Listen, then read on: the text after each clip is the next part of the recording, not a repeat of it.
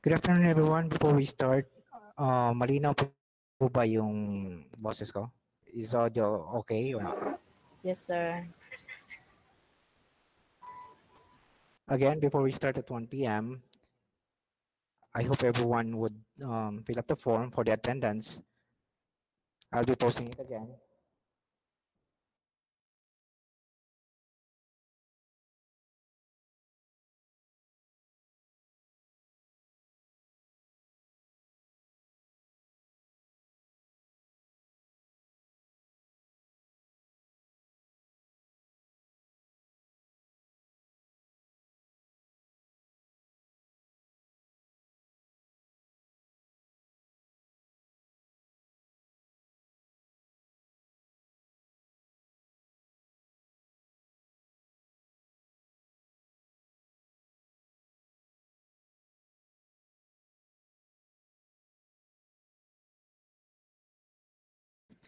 Saglit lang po. Aayusin ko lang po.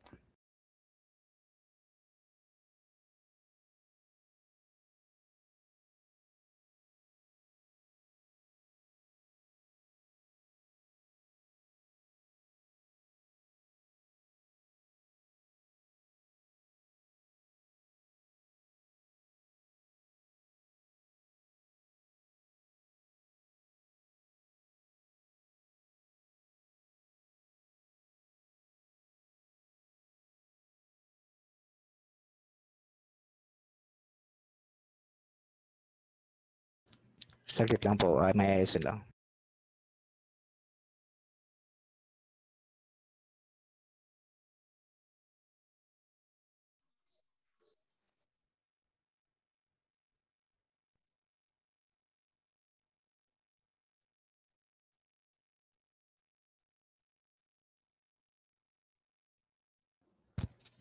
Try niyo po ulit sa atten- attendance. Um, pwede po na ma-fill up na form na po yung ano, yung link. Hindi na po nangangailangan ng ano, permission. Pasensya na po.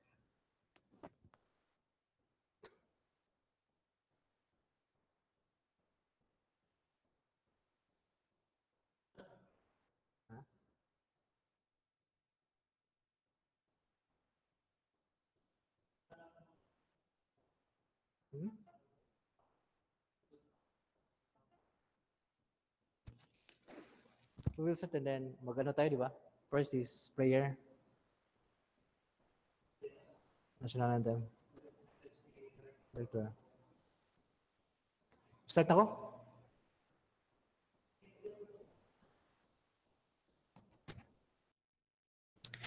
Pasensya, pasensya na po sa bala. Um, we are about to start it now. We'll just give a few seconds for those who are still wish to join our team today.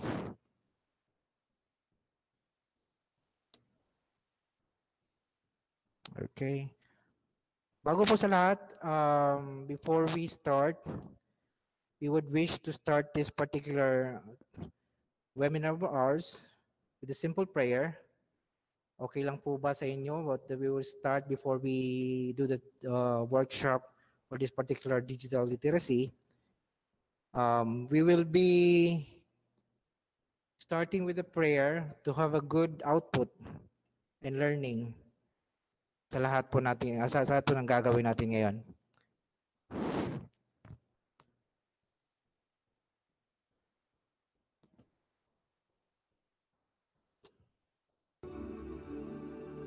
Glorious Saint Joseph, model of all those who are devoted to labor, obtain for me the grace to work conscientiously, putting the call of duty above my many sins, to work with thankfulness and joy, considering it an honor to employ and develop, by means of labor, the gifts received from God, to work with order, peace, prudence, and patience, never surrendering to weariness or difficulties, to work above all with purity of intention and with detachment from self, having always death before my eyes and the account which I must render of time lost, of talents wasted, of good omitted, of vain complacency and success so fatal to the work of God.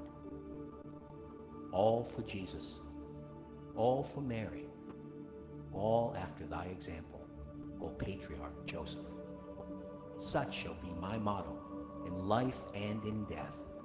Amen.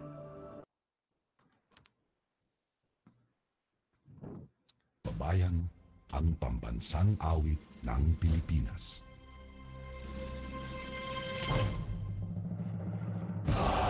Okay.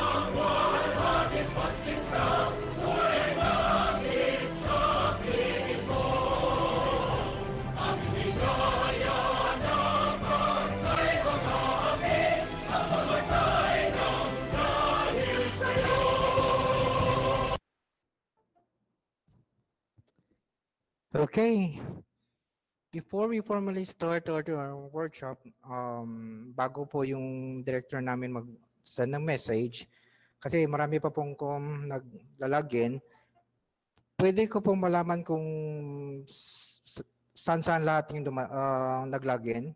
Merong kanina may nag-post na from Manila, from Negros. Kay chat lang po. Hello? Um, okay lang po ba yung... Okay, salamat. We have from Zambales, SDO Negros, from Cebu City, Negros Oriental Division. May mga teachers po ba na nag-enroll or sumali sa ano dito? If I may ask.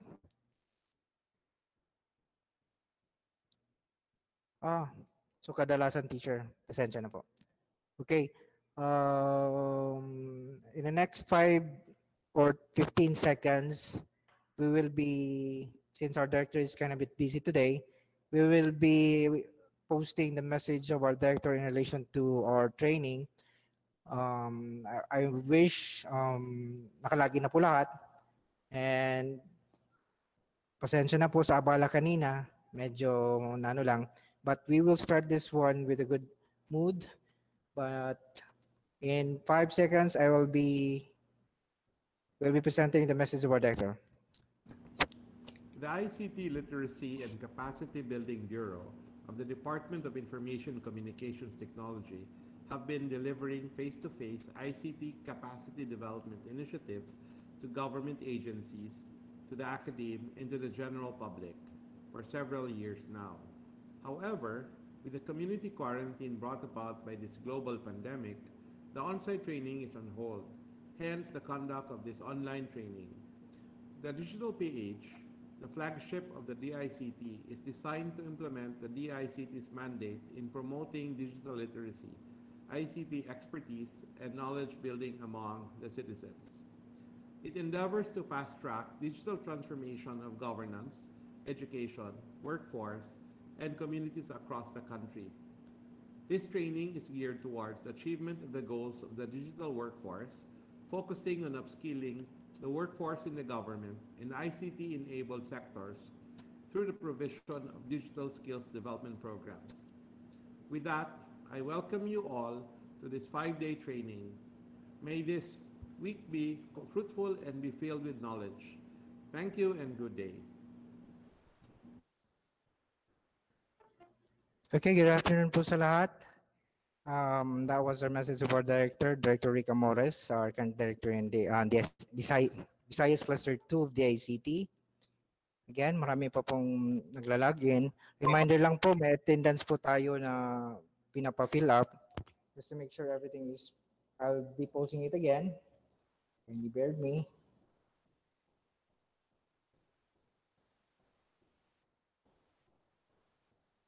Nasa chat box po yung attendance link if in case you need it um, before we start with this particular event of ours. Um, bago po lahat sa lahat, mag-i-introduce po muna ako sa project na uh, in collaboration with this particular project with the IC, uh, from the DICT. Hindi po uh, private, it's all public. Ano to? Um, it's a project run by DICT. Dalawang project po to. Isa is uh, familiar nyo na and I'm trying to have it parang ano lang. Just a re- refresher. Alam ko may mga nagpunta na sa school or sa area no na nag-represent ng ganitong uh, idea but still I want to have this a refresher um, to all teachers and those who are individuals that are entered to this particular okay um, training. Marami, marami marami po tayo ngayon, almost 87 87 lahat ng attendees and again ito po eh, hindi lang interactive po itong gagawin natin. Kasi hindi lang po kayo makikinig, may mga activity po tayong gagawin later on in relation to uh, this particular workshop. Kailangan po namin yung output nyo para ma, you know, we can gauge on if and where we will somehow give you an idea on how to improve um, the discussion not just uh, your presence, but the learning that uh, has been passed on. Again, pardon us with the inconvenience. So, magsa-start na po tayo. Okay na po ba sa inyo lahat? Nakapag-attendance na po ba?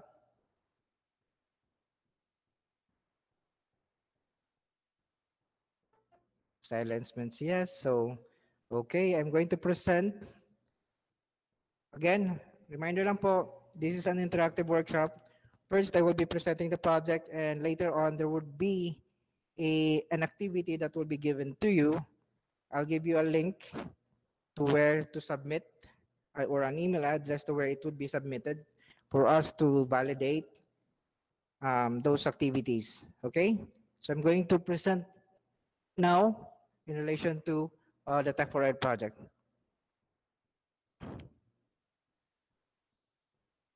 Pardon me. Come on, what's wrong with this?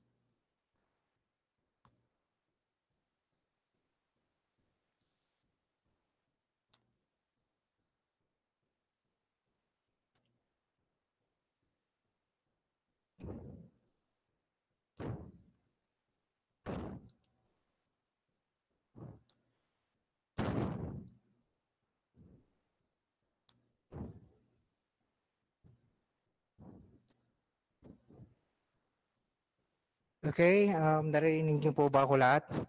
Um, by the way, this is the Tech for Ed project, which is in um, the one who has, in collaboration with the Wi-Fi project, wherein this is um, um, one of the projects which is run by the DICT, which, as we all know, this is the Department of Information and Commu- Communications Technology, technology which has a mandate to improve um, using the ICT. Okay, I'm sorry.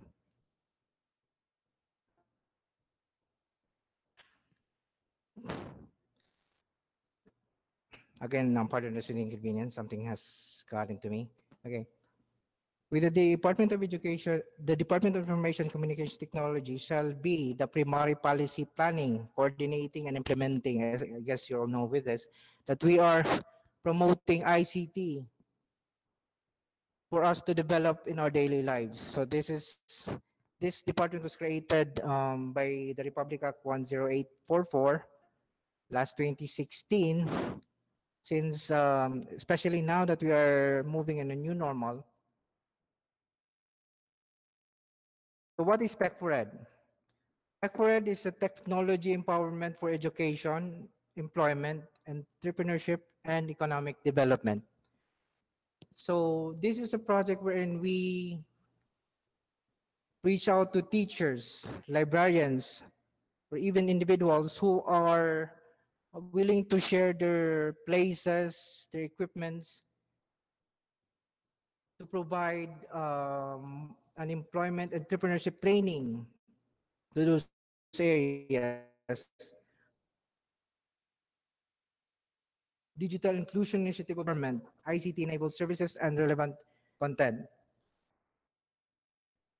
Why is Tech for Ed? Tech for Ed has a, not just like we are partnering with um, local government units, schools, but Tech for Ed also has a platform with the content. Tech for Ed provides access to ICT-enabled contents and service through its platform. There are at least eight contents um, that we are offering online. This is also accept. There's also um, okay with smartphones. You can use this particular. You can view this particular contents through your cell phones by um, registering to www.techfored.gov.ph. We have at least eight contents. One is the rural impact sourcing, which is now labeled as the digital jobs PH, which from time to time, the DICT are going to municipalities to conduct trainings for social media marketing, web designing. We wanted to improve uh, or not really to go to the city for, you know, to find a job, but we can do, since now that um, most of the jobs are doing online, pwede naman ho tayong magtrabaho sa ating ano, bahay lamang. Um, that would cater also if we have a good um, connectivity. So that's why uh, with the ICT, we are trying our best to partner with local government units to provide us centers with which any individuals or even DepEd, any individuals or students that can go to that particular center to learn and you know one of which um, that, that's one of the contents the rural impact sources which is the digital jobs ph second would be the e-help which is a links to um, yung mga links na pwede natin gamitin na it's guaranteed safe na hindi lang basta gawa-gawa lamang. For gender and development, yes, we really need this particular uh, topic wherein hindi lang po yung lalaki ang pinakamalakas kasi um, most of the jobs now are being, you know, kaya ng mga babae din. So we need to have a gender equality in education and in also in employment kasi kailangan natin yan. Hindi po kahit sa nga po sa hard labor, even girls has the ability to do the welding. Di ba? Mas ma, mas preferred po. Ako, I was been working in Japan before, but most of the Japanese are uh, mas prepared sila sa babae na nag ano kaysa kaysa mga lalaki kasi medyo mano yung kamay. E-assist is the one of the contents that we have also. E-marketplace, I'll just run through it because I wanted to make sure that we have that much time about with um, um, internet media literacy, e-edu skills, e-agri, and e-govserve. So Tech for Ed provides training and upskilling programs such as this one that we're having. Supposed to be, we're going to do, most of the time, me and Joshua are going to areas to conduct face-to-face -face training. But as we all know, we cannot travel and we cannot do this on a face-to-face basis since we have a certain situation right now that will hinder us to proceed with our with training. So we can we propose to our director to have it done well online. We have the three batches, which is the first batch, which is currently we're in right now. And then second batch would be next week, and the third batch would be the last week of November. We also, in relation to center management training, this is in partnership with LGU and DepEd, wherein if in case that we, your current uh, school heads or mayors will partner with the ICT in providing centers to deliver ICT to the public, we will conduct center management training to the persons in charge for them to be aware of what is the content of Tech for Ed. Now, we also have this digital marketing training using Facebook Blueprint. I'm sorry. And then, as we all know, uh, we have a beta phase LEAP, which is Learning English Application for Pinoys, to enhance um, a better way of you know, communicating through an English medium. And I would say this in advance that we have, this is still in beta phase wherein um, the speech has a lot to improve. Mayroong mga bugs. So we really uh, inform everyone that much as much as possible use the grammar uh, module since it would be much better to uh, improve your way of communication by learning with grammar first before you, we do the speech. Now, how does it support sustainable development goals? These are the uh, three uh, which we are presenting to the public. Uh, quality education, ensure inclusive and equitable quality education and promote lifelong learning opportunities for all. Tech Forward, through its learning materials and contents, promotes inclusive and accessible non-formal education and upskilling programs for students, out-of-school youths, ALS learners, and PWDs. Now, we are not promoting everyone um, to go out of school, but formal education would still be the best way to achieve success. But sometimes, um, hindi po lahat medyo, ano, maswerte. Ah, minsan may mga problema pong dumarating at yung iba po hindi nakakapagtapos. Pwede pa rin po silang mag-aral with the help of DepEd. May mga DepEd po tayong um, ALS teachers which they can guide them through by taking those uh, accreditation exams. But then, kaya nga po kami with the ICT, we're trying to partner with uh, local government units and schools to provide options and guidance to those out-of-school youths for them to get back to.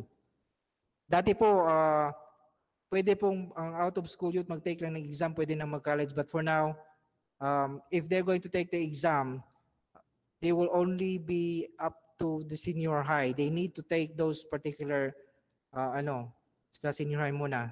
Hanggang junior high lang po ata. I'm, I'm not really familiar with, ano, but, um, but dati, I have a classmate before that they jump into college, but now hindi po pwede. So, um, isa sa aming ano is the gender equality as we, I have said earlier. We have the content with God which achieve gender equality empower all women and girls. Tech for Ed ensures equal access for bo- of both men, women to information communications technology, government services, non-formal education and alternative learning, learning, skills training, job markets, and business portals through the Tech for Ed centers and its platform. So we are presenting this one to provide an equal opportunity for those, hindi lang po sa babae, sa lalaki o sa mga binabae, lahat po tayo may karapatang mag-aral at matuto. So isa yan sa aming mga ano, sustainable growth and development. The third one would be sustainable development goal which promotes sustained, inclusive, sustainable economic growth, full and productive employment and decent work for all. Meron po kaming capacity building that we are trying to provide um, much as much as possible. Tech provides capability development programs and trainings to develop skills needed for online works. Centers are also, also serve as co-working space for digital workers and freelancers in the countryside.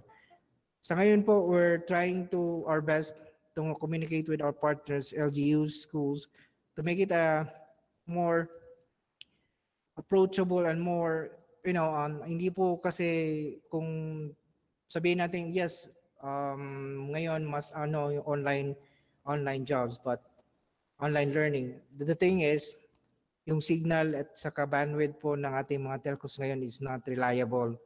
So as much as possible, we partner with uh, stakeholders for us um, to provide more and efficient way in this particular aspect. So these are our target sectors. Out of school youths, educators, students, PWDs, women's, um, senior citizens, OFWs. Sa nakikita nyo po, lahat po pwedeng matuto. With the, uh, the ICT Region 7 and Region 8, or Region 7 only, these are the data that we have. We have at least uh, 389 barangay volunteer workers, 437 center managers. This includes teachers and uh, LGUs who provide, you know, and we have a lot of teachers who- have been involved with Tech for Ed, government employees. Medyo may karamihan na po. Ang medyo marami po dito is the students since they have, kasi po sa, sa ngayon, may mga kasabihan tayo na kung kailangan mo ng informasyon, i-google mo yan. Which is not all informations being posted in Google are accurate. So as much as possible, we are we wish to guide students or individuals who wanted to know information which is reliable and hindi lang po yung sabi-sabi lang. So this this is for Region 7 alone. Um, as of August, no, as of October, we have 11,459 members with, which med- medyo karamihan is babae. And marami po tayong members mostly sa Bohol area. Meron din sa Cebu pero kalamitan lang. Pero as much as possible, we wanted to reach out through Negros Oriental, Siquijor, Bohol, Samar, and the Leyte provinces, which is uh, kasama po sa area namin yan. So these are the top 10 courses that being, you know, uh, most of the enrollees uh, enrolled in particular course. One is the communication skills, the, the escuela. This is for uh, the 331 students. I would assume that these are um, alternative learning out of school youths who wanted to learn more and wanted to go back to schools. Cyberbullying puma, pumapangalawa po kasi medyo in po ngayon yan yung mga binu, binubully online sa Facebook, sa Twitter, or even sa Instagram. So these are the following courses that are being presented to the public with which hindi po sa pilitan to o may oras. It's up to kung kailan lang po kayo libre, kung kailan lang po libre yung students um, at their own pace, kumbaga, ang learning dito. So at Red, uh, Region 7, this is our the data that we have with analytics that we have on our data. Mas, um, pinakamarami sa Bohol areas, pumangalawa Cebu, and we wish to you know, reach in Negros and Siquijor also. So if in case that um, um, kung gusto nyo po na makipag-partner yung school nyo sa amin, um, you can give me an email or direct uh, you can go to our Facebook website or you can post a Twitter at techfred underscore centers or direct it to me, arizeta at the ICT .gov.ph. Now, um, bago po lang sa lahat, ano, may i-present akong isang, wait, slides on how to, you know, create an account. How to create an account with TechForEd and what are the contents of TechForEd.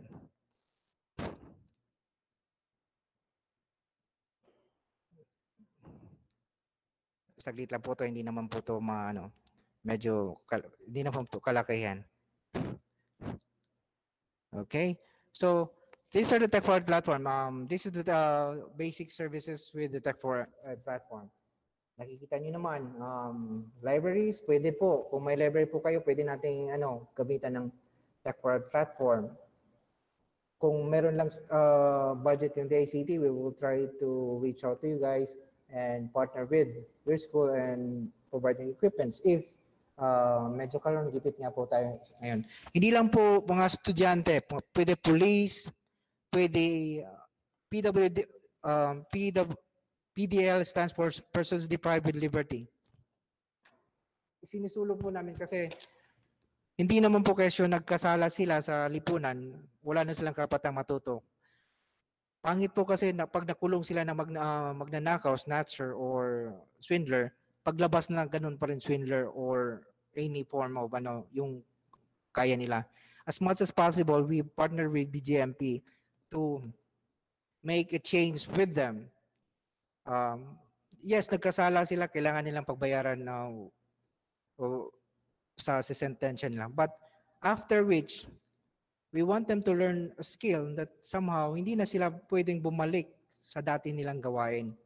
So, tinuturuan din namin sila by the help of the um, jail officers um, to improve communication skills, pakikipag-ano sa tao, um, computer basics, yung mga simpleng bagay na pwedeng matutunan while they while they are inside. Sorry. So ito po lahat, pwede po uh, ano, 'di ba? Ito po lahat yung mga pwedeng gawin sa isang tech Ed centers. Access to computers, the internet, and ICT services. Access to e-gov services available to the platform. Pwede po tayong kumuha ng NBA, NBA clearance. Ang NBA clearance po, pu- pupunta pa rin po tayo doon sa office ng National Bureau of Investigation. Yung ang gagawin lang po natin is to encode the necessary data to be searched by NBI officers. Bibigyan po, may link po tayo sa NBI um, system wherein pagkatapos po nating mag-fill up, bibigyan po tayo ng confirmation code which with which pwede nating bayaran sa mga bayad centers para pagpunta natin sa NBI, schedule sa sa link na nasa sa amin, pwede na po mag pumili ng schedule at kung pupunta kayo sa NBI, diretso na lang po kunin yung picture nyo at yung biometrics para makuha yung NBI clearance. Hindi po guarantee na hindi hit, hindi uh, makukuha agad ang NBI clearance. It would still be subject for verification and validation by the NBI officers. Passport, pwede na rin po. Passport applications, birth certificate applications, wag, um, pwede na po sa portal namin, we have links to go to government offices with which pwede na po i-deliver yung mga birth certificates which is NSO certified sa bahay nyo. Medyo may kamahala lang, 330 ata yung presyo. Kesa naman mag, um, sa Cebu, medyo mataas po yung, mas mahaba po yung linya. So I would I would prefer na pwede pong gawin nating online yung application natin para mas mabilis. Medyo 330 pesos lang po. So babalik ako dito. So this is how to create an account. Okay, I will give you a glance. Go to techforer.gov.ph and then do not log in, create an account. That's a step two. Step three, Gmail or Yahoo Mail. It's okay. Create. And your password. And then step four, pumunta lang po sa email account nyo at may makaka-receive kayo ng info at tm-api.com for the verification on email. Tapos po, click nyo lang po yung link na here. Pupunta na po kayo dito sa step 6, which is fill out the fields. Yung number po, ano lang, uh, optional lang. It's up to you to provide any number. But as much as possible, pwede po gumawa kayo ng username na hindi nyo makakalimutan. Step 7, personal information. Pangalan, middle name, male or female, date of birth. Yung address po dito sa ano, hindi po address nyo. Address ng, uh, if you know a center, ito po yung address ng Tech for Ed Center na gusto nyong mag-register. Kung malibawa, may uh, sa ano sa for example Negros Oriental High School NOH yes Negros Oriental High School yun dun sa may Dumaguete. Yung address po ng city dito sa Dumaguete Region 7 hindi po yung address nyo talaga. Uh, for safety purposes we at the ICT are not requiring any information na makakapo uh, na which will ano provide your yung mga ad, kukunin namin yung address. No hindi po. Ito po yung address ng center kung sa halimbawa sa Cebu sa Cebu City Cebu City Barangay San Roque Ciudad ang address yung current address ng Cebu Center it's up to you ang permanent address pwede nyo ilagay po nyo ang yung address or yung address din ng um, center. Not necessarily your address. And then after which, click next, fill up the form, uh, professional information po kung college graduate, high school graduate. Don't worry po kasi lahat ng nag enroll hindi po namin isinishare to sa iba. This is only for the ICT use only. So, once you have this, ano, once you have this particular information filled up, if you wanted to know sa area niyo po kung mayroong uh, Tech for Ed Center, pwede niyo po akong emailan sa aking, um, pwede niyo po manghingi sa akin by send an, sending an email at arizeta, aris.zeta at dict.gov.ph so that I can provide you a center and the center address for you to fill up with this particular form. Sa kung gusto niyo mag-fill up ngayon, ma'am, pwede niyo pong gamitin yung address ng Cebu City para mas madali. Now, we'll move forward. Click finish na po and then, I'm sorry. Step 8, this is to review what you have entered. Ito po yung mga information na nandito. Don't worry again, with the data privacy, we are not going to share any information about yourself, your number, and even your address. Sa sinabi ko po kanina, ang address po na ilagay is supposed to be ang address ng center. Okay? Pagkatapos po nito, pag click niyo yung save, makakapasok na po kayo dito sa platform namin which has the eight contents. Pwede po rin ito gamitin, pwede po gamitin yung cellphone nyo to access this particular website kung may data lang po nga kayo. Yun ang ano. So, these are the centers that we, the, the contents that we have for Tech for Ed. The e-agri, e-marketplace, e-health, I'll just run through this kasi medyo mahaba kung iisa-isahin ko pa. These are the contents, the e-agri, which will help develop the uh, farming farming fishing methods that we have currently uh, by reaching out to experts. Pwede po natin i-ano rin to sa schools. Okay, um, balik po tayo. Sige. Kasi may nag-request ng ano uh, how to ano how to register. Sa pag-register po ito, uh, on our browser, you need to type www.techfored.gov.ph. And then, mapupunta po kayo sa page ng register using the new email account or what Gmail account. Ganito. Huwag po kayong mag-login, mag-create a new account. Pag na-create niyo po yung account na to, magpupunta po kayo, ang screen pupunta po sa isang step ng uh, kukuha na yung email address at yung password. Okay? Pagkatapos po ng step 3, lalabas po itong step 4 na thank you very much for your registration. Check your email to confirm your account. Now, pasensya na po sa Tagalog ko. um, once after step 4, you need to go to your email address, check on your mail, you will receive an email from info at tm-api.com. Basahin nyo lang po and then click nyo po yung link na nagsasabing here. All capitalized po yan. Pagkatapos po niyan, pag na-click nyo po yan, lalabas po yan at papasok sa step 6 which will ask you to fill out the fields. Now, sa account information, may mobile number. Ito po ay optional lang. Kahit sinong kahit anong mobile number pwede po dito. Ito po just in case that you wanted to contact you to clarify some information, pwede po dito. Lagay. Then click next. And then sa step 7, personal information po, your name, middle name and last name, your gender, your date, your birth date, birth birthdays, status, and then sa address po sa, Pili sa country, Pilipinas po kasi Philippines kasi nandito po tayo sa Pilipinas.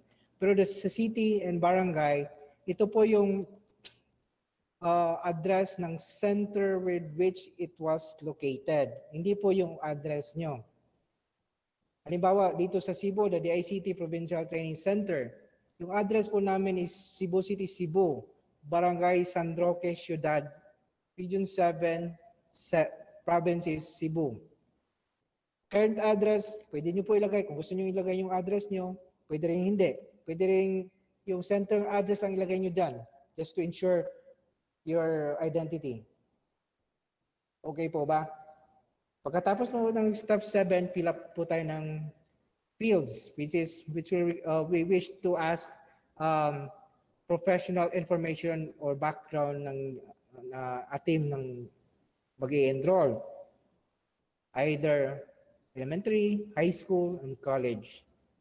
Up ano pong grade level ang ano.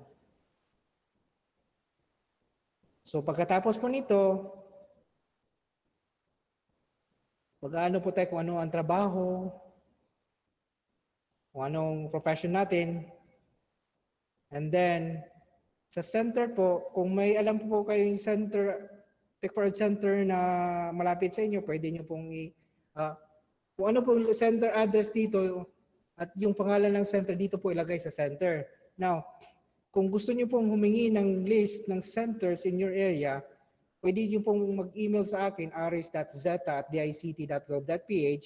Bibigyan ko po kayo ng list. List lang po ng pangalan ng center at address. Di na po yung ibang information kasi bawal po yon. Ito lang po yung pwede, uh, kung pwede, kung ano na po pwede namin ma-share sa inyo. So, pwede niyo po, ang sector kung ano po, kung saan ba kayo, educators, teachers, entrepreneurs, andito po lahat. And then pagkatapos, click next. So step 8, re-review po natin kung ano yung na-enter yung information sa fields na pinapalagyan kanina. Okay? Um, the name, etc., etc. If maglagay po kayo ng totoong information dito, we guarantee the safety of your information. We will not share it to anyone. This is only for the ICT use only. Hindi po namin i-share yan. If in case po na may nag-share, kindly give us a, kindly give us a report para po ma, maano natin, makorek natin yung um, procedure. Kasi bawal po sa amin mag-share ng information in relation to um, enrollees. Now, pagkatapos po ng step 8, mapupunta na po kayo dito sa platform natin which has 8 contents. I run I will only run through with this kasi medyo ano lang to, mahaba to eh kasi pag mag-train tayo ng ano, it will take us 3 days. So ano lang, glance lang po tayo gagawin ko.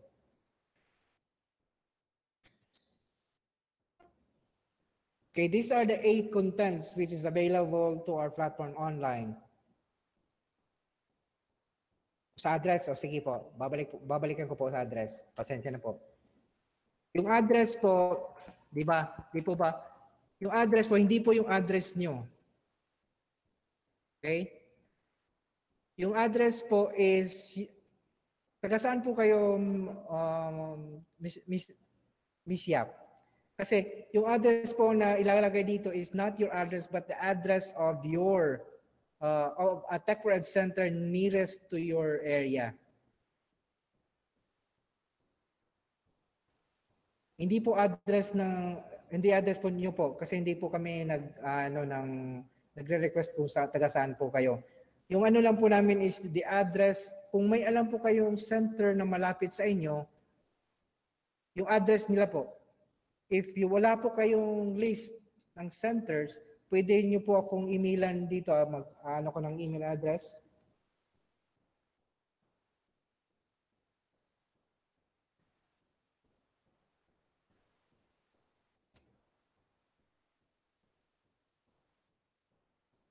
Kung wala po kayong alam na center, okay, sa ngayon po, ano, ito na lang, kung kay, ngayon kayo mag enroll ang city na gagamitin nyo, pwede yung gamitin si- um, gusto nyo ba magano ngayon? Kasi pwede kong pa- ipapagamit yung uh, Cebu Center training address.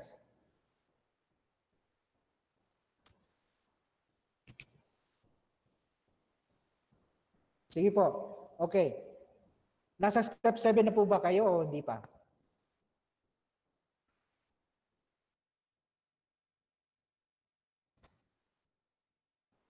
Saglit lang po kasi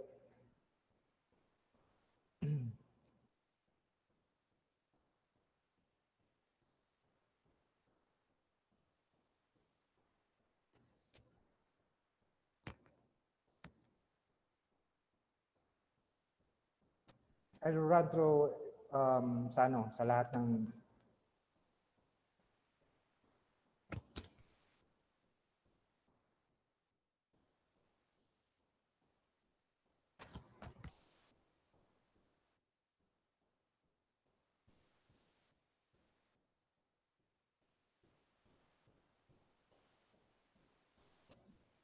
So, personal info na po kayo. So, okay. Wait lang po kasi pupunta po ako dyan.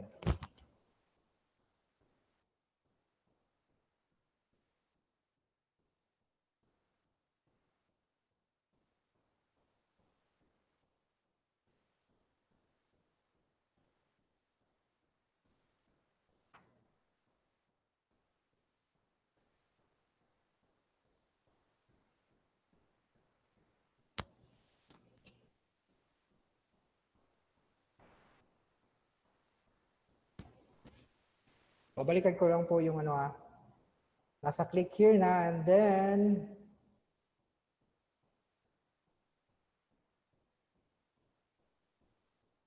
Okay. Ipipresent po ko po yung ano.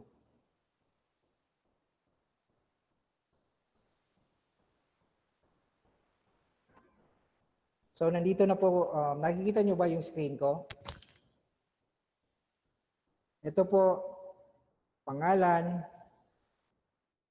middle name, and last name. Mail,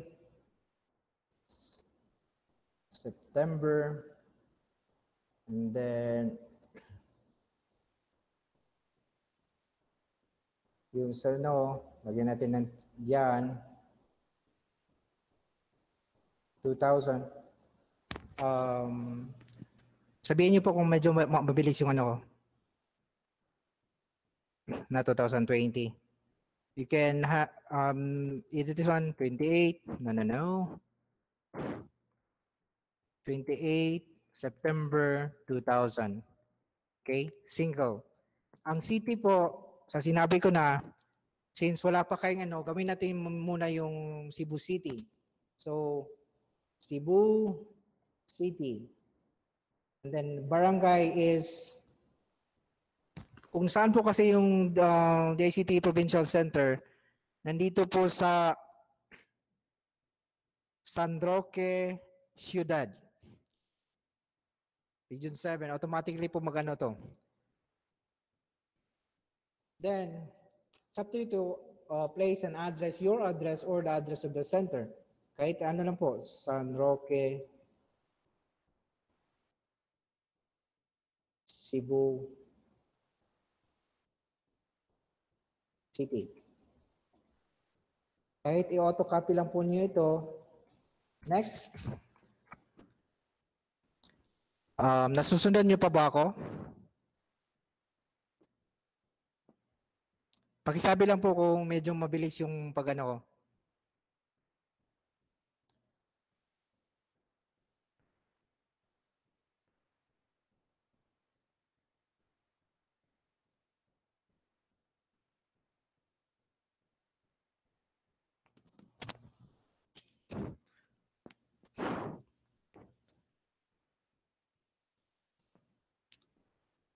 Seba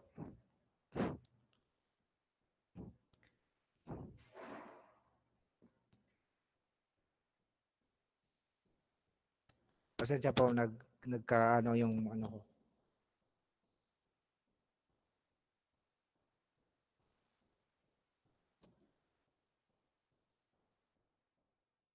Sampo lang po to ha. Hindi naman po ito. Pwede, pwede naman po baguhin to later on eh. San Roque, shit, shit, shit, shit, shit. Ito. San Roque, Chi- um, Cebu City. Pwede naman po ito. Then, dito po sa step 2, sa personal, nandito na po tayo sa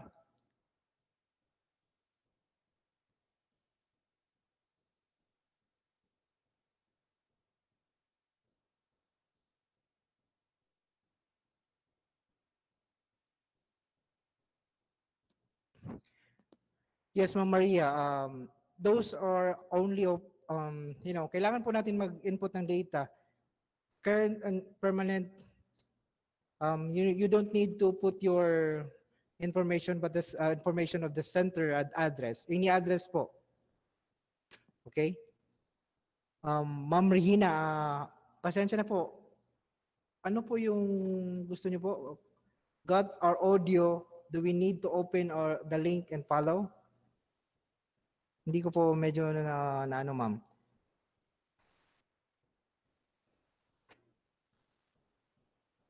But anyway, um, I'll be giving you guys with this particular slides and procedure on how to uh, how to create an account, okay? Okay, we'll proceed. So, edu- educational attainment. Sabihin na natin hindi ako nag-graduate. Um, pa, sabihin na natin junior high or third year high school. Then occupation. Anong occupation ko ngayon? Sabihin natin barangay. Not necessary. ah, pwede, pwede po natin baguhin to mga kaibigan ha. Sir, mga ma'am.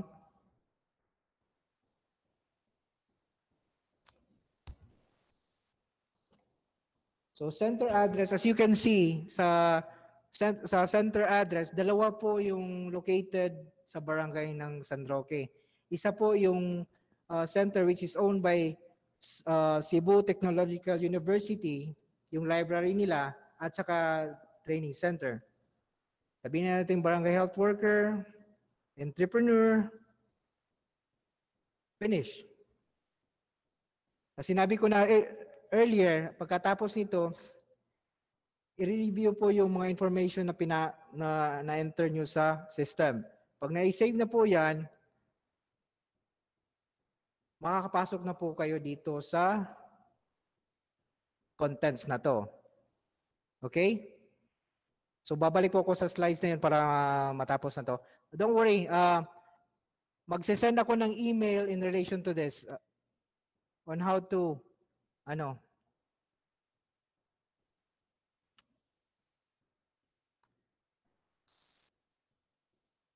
Pasensya na po, medyo may ano ko.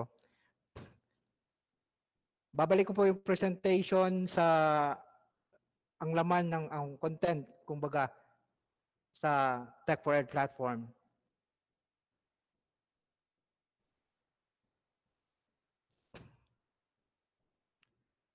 So, so nandito na po tayo sa ano. Ito po yung i-ag yung eight, eight contents which is available to our platform. Now, sa e-agri, all forms of informations and guides to improve farming and fisheries, nandito po lahat. Kahit po yung mga customer service hotlines which is available, ang customer service po natin may text ano at tayo, may Rice Text Center, hindi po basta-basta nagre-reply automatically within a few seconds. Kindly give us at least uh, 48 hours kasi experts po ang magre-reply. Okay? May mga application po tayo kasi ngayon we are on a uh, an age where technology driven na ho lahat. May mga application po tayo through Android which is available to any farmers if they are willing to use this particular uh, um, applications. Sorry po. So this is the e-farming, which is, which is linked to a Philippine e-extension portal, which can help improve crops, fisheries, etc., etc., as I've said. And we have an application which is available through Android. Android po muna kasi medyo may, may kamahalan yung iOS eh. But we're working on it na magkakaroon ng iOS plat, uh, usage. So ito po, uh, isang mobile application which is in connection with the minus one element technique. Sa mga farmers, uh, kung nakasubaybay sila sa itong process, um, pwede po rin to i-apply sa school who has the um, you know, capacity to teach farming methods sa mga students. I've said earlier, may mga um, customer service tayo na pwede nating uh, may pwede tayong magtanong, experts on rice related, crops related na pwede nating tan- itanong kung paano at what are the best practices at anong pwede nating gamitin sa panahon panahon ngayon. Mostly, ang content dito is rice because Filipinos are very much keen to rice um, kahit saan po. Kahit may pandesal, maghahanap pa rin tayo ng bigas. Kahit sang sulok ng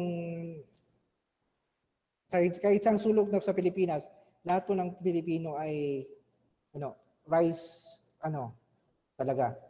Hindi sila medyo dependent tayo sa rice. Kahit na walang ulam, basta't may bigas, yun. Ito po yung mga procedures na pwede nating malaman. Na rice crop manager, may app din na pwede nating gamitin. Rice data, eh, wherein we can ask for support, guidance on how to improve. Sa mga gustong, sa mga schools na nag-offer ng farming, pwede rin po to. May rice doctor, may rice ap- doctor application application also with iOS na pwede natin gamitin. May marami pong laman ng Tech for Ed platform. Rice Kno- Knowledge Bank, kung pwede nyo pong matuto kung uh, paano pa pre-planting, growth, and post-production. Kasi hindi naman po basta na lang magtanim tayo. Yun nga po problema sa iba natin kasi basta magtanim, okay na. Hindi po natin eh, pag-aaralan kung pwede ba, kung itong crop ba, to, ba ito ay pwede nating ah, i-plant sa lugar natin. Kasi yung soil natin may ano rin, isang nutrients eh. So dapat malaman natin kung paano mag-prepare for pre-planting, sa growth, kung paano pag magpapatubo at sa post-production kung paano natin ibebenta at paano natin i-stock yung mga ah, produkto natin. We have also an e-marketplace, which is a portal which will help. Um, it provides greater market reach beyond the entrepreneurs community for exponential economic and opportunities. Ito po yung mga, may dalawa po tayo dito na uh, pwede nating mapagamitan. It, it, one of which is the Memaropa Ventures na nag, parang Lazada din po sila. Kaso, kaso nga lang, they are selling products which is uh, which can be seen in their area. Um, again, pag nag-order po kayo, may delivery cost po 150 pesos. Pwede po ito bayaran ng through online, to credit card, pwede po. Ang delivery courier natin is Air21, which is, ah, nakikita nyo naman sa post. So isa po to, may isa po din tayo na one store which is uh, an e-commerce web application developed by DOST operating nationwide. It caters primarily to Philippine consumers. Pwede po to. And again, kung, kahit saan po, kahit sa Negros, kahit sa Bohol, kahit sa Siquijor, kahit sa Manila, pwede po kayo maging online seller. Meron po ditong uh, sell online store, seller's dashboard, pwede po. Mag-apply, mag-register lang po kayo, bibigyan po kayo ng information, uh, guidance on how to improve your market.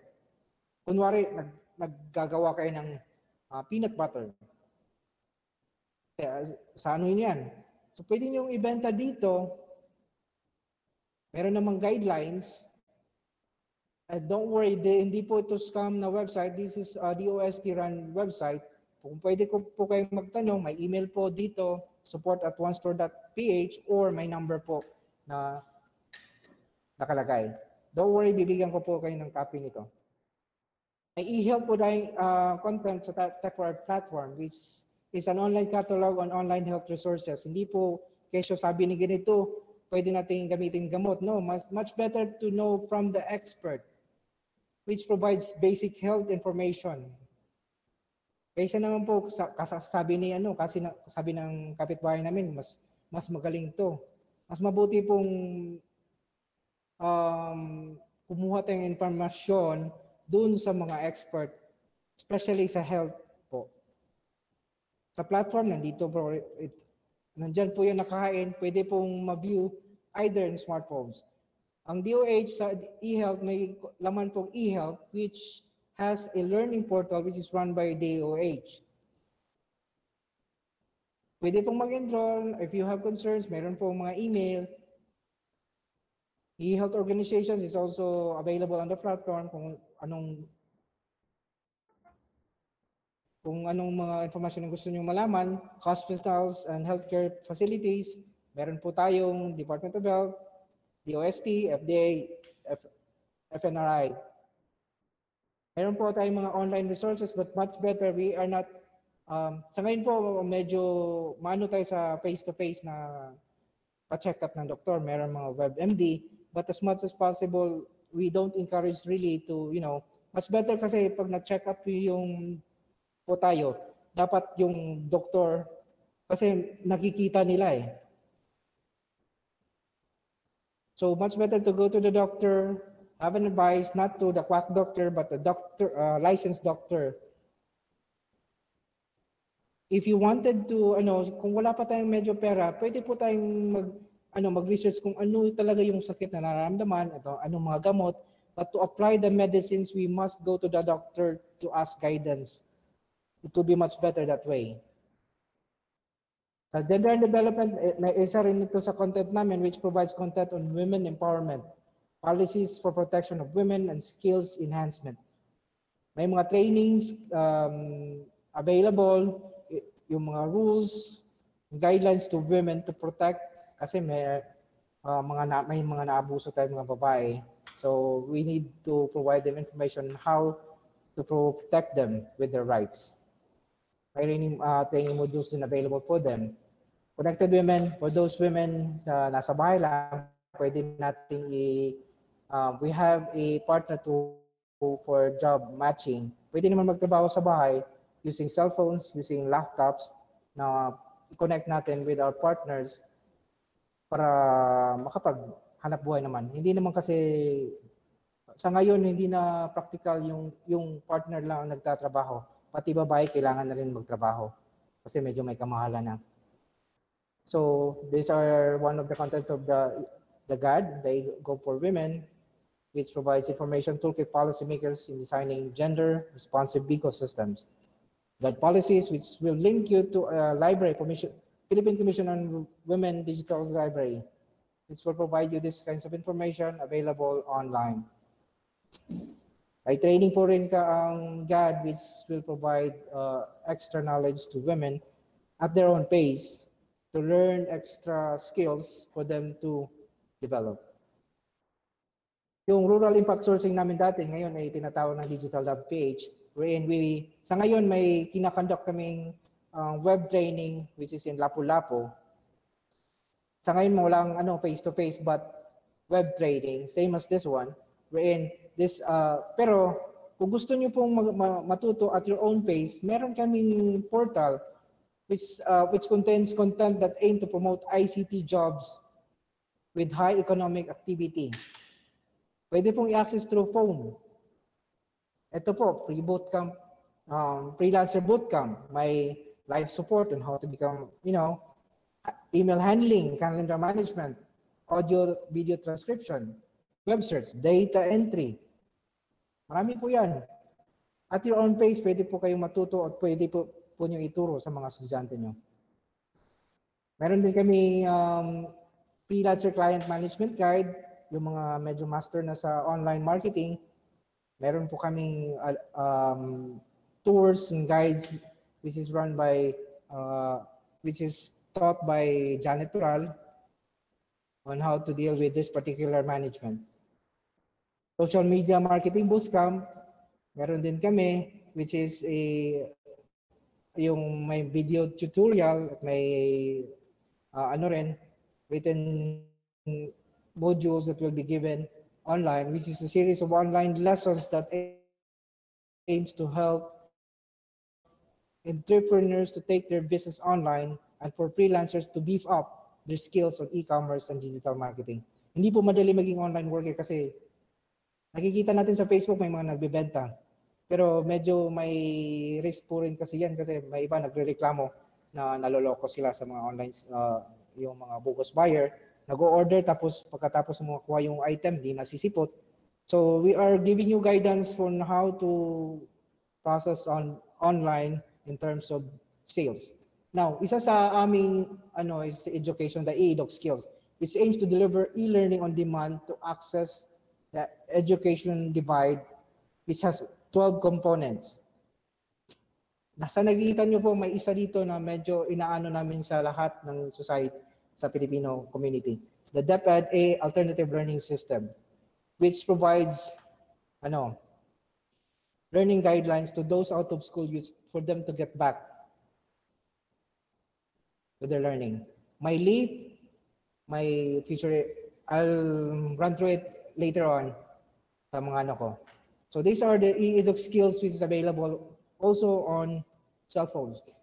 The alternative learning skills na alternative learning system na content namin sa EDU Skills, this content under the EDU segment of the TechWare platform can help the out-of-school youths and adults to attain their high school diploma. Hindi po, hanggang ano lang po, junior high, kasi pag nag-enroll sa senior high, sila diretso. Based on the PED policy. So the ALS program curriculum reflects the set of knowledge, skills, and competency to learners should develop to meet the minimum required education. Ang ano po natin dito, pinaka-sample is Manny Pacquiao, which is now uh, successful, not just in boxing, but uh, in business management. He, has, he is one of the ALS pastors, an A&E pastor, and now a proud ambassador of, of the alternative learning system. Hindi po huli ang pag-aaral, hindi po nasa edad yan. Meron po tayong na-graduate sa Cebu City, a magna cum laude graduate of Cebu Institute of Technology, Cebu class 2009, a degree of Bachelor of Science in Electronics Communications Engineering. See? Kung naka, kung nahinto po na kung medyo may medyo na dinaanan tayo na hindi ma okay at nahinto tayo sa pag-aaral, hindi po 'yun sapat na dahilan na pa huminto na huminto na tayo may mga paraan po na pwede tayo bumalik on its track for education. Kailangan lang po ng extra effort and your time and the time of the ano, learner and focus para pumatain to. Ito po yung content ng ALS. As you can see, may mga informations, may exam tayo dyan sa loob, which is, uh, which can, you know, hamper the knowledge of um, out of school youths Don't worry po, it's uh, this is the DepEd, same as DepEd alternative learning system, naging digitized lang po siya. Nilagay sa ano, digital components na at presenta using the Tech4Ed portal. Meron po rin kami digital learning process wherein we provide at your own pace what why use computer, yung mga ganito. Meron po, marami po kami dito sa loob ng portal na pwedeng pagamitan. One of which, if you wanted to improve or um, much more more than any yung yung gusto niyo mag-explore pa we have a content, content which is the future ready ASEAN which is in partner with um, ASEAN Foundation and Empire Code with Microsoft which provides this particular training the data wizard Microsoft Digital Literacy course, Dream Team Player. Medyo may mga certificates po to na binibigay nila. This is in partnership again with um, Empire Code, ASEAN Foundation, and Microsoft Company.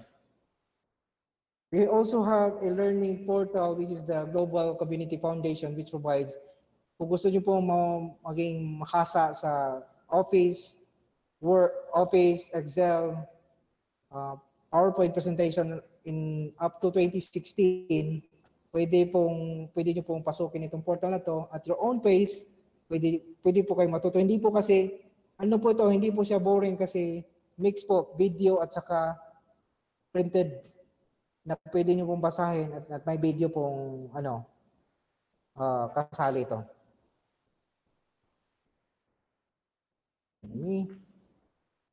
And we also have this particular beta, na sabi ko na earlier, uh, a beta application which it will enhance everyone's uh, uh, ability to communicate.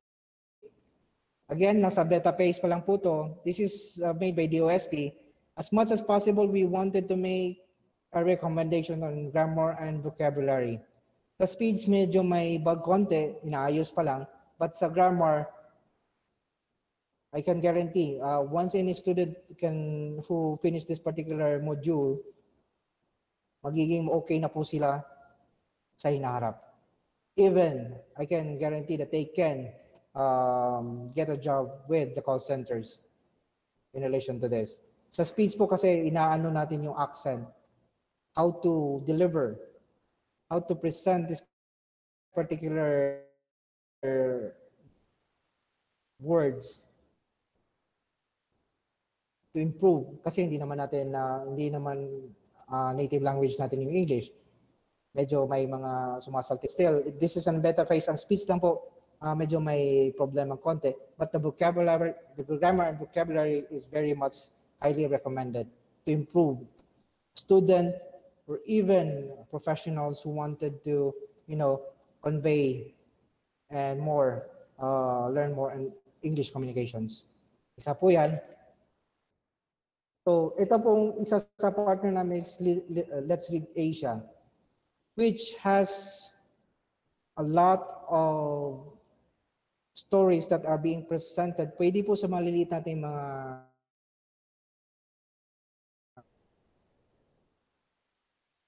uh, pwede po to.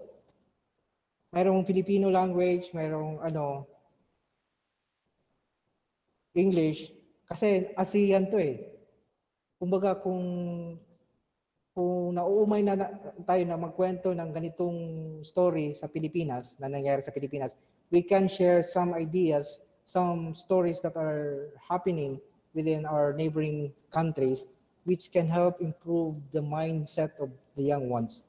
Yung mga, kasi for me, uh, dati uh, my, my mom used to read stories in uh, while I was young.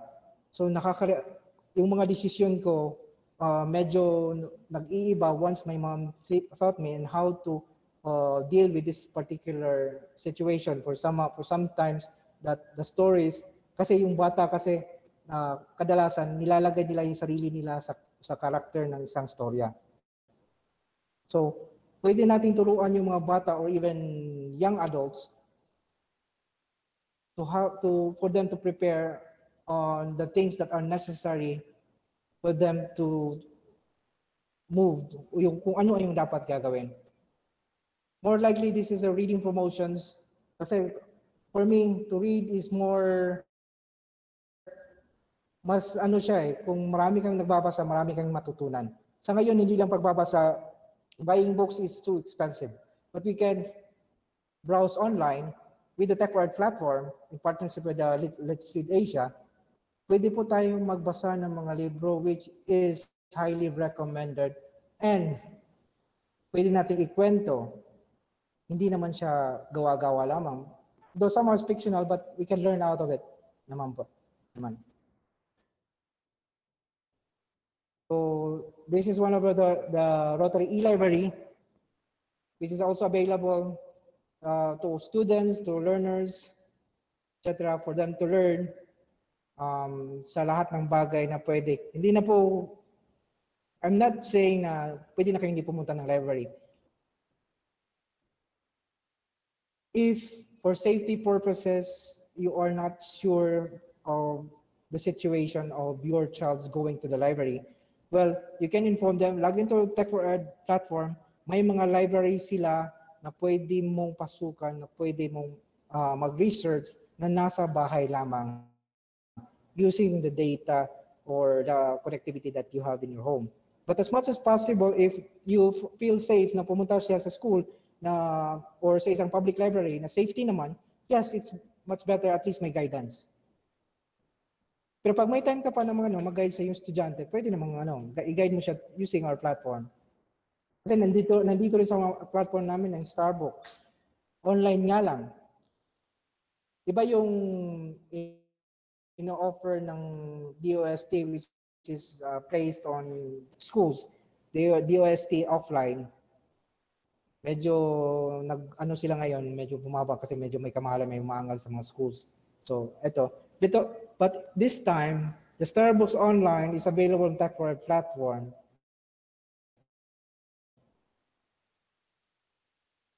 We can also search even uh, using Starbucks online. Even they are, uh, at this point, they are challenging um, learners.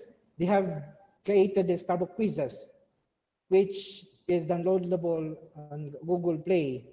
Pwede pong uh, ibigay natin sa mga uh, i-ano natin sa mga estudyante natin to check their knowledge as what they are right now. So pwede po yan. We also have the Technoclatan which is available um, sa TechWorld platform namin na pwede mong ma-access at pwedeng gamitin ng estudyante. The test hero what is what we have um, is this is in partnership with DG Bayanihan wherein um, nagpo-provide po sila ng parang mock quizzes. Medyo may karamihan, calculus. So, ang recommend ko dito is yung reading comprehension wherein it's a timed reading. Hindi naman siya ano, uh, pwede, pwedeng ulit-ulitan but eh, it's randomly ano na question na pwedeng, you know, para mahasa yung estudyante sa pagbabasa.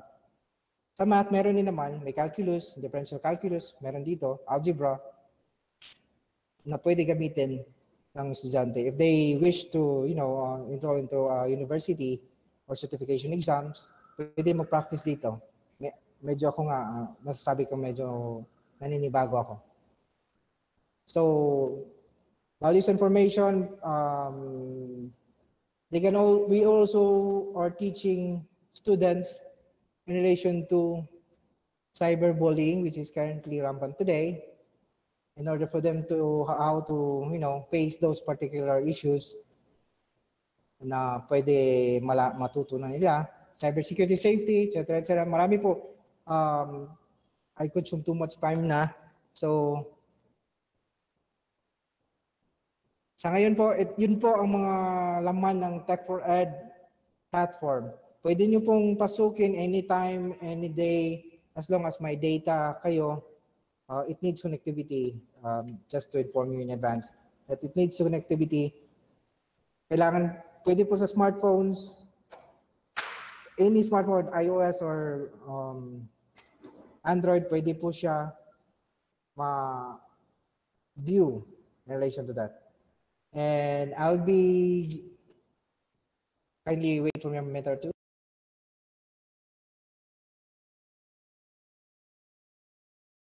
So again, um, I'll siguro nag-ano naman kayo ng email address ninyo sa uh, registration. I'll be sending within later this afternoon uh, this particular slides which you can refer in your on your as a reference with the TechWorld platform.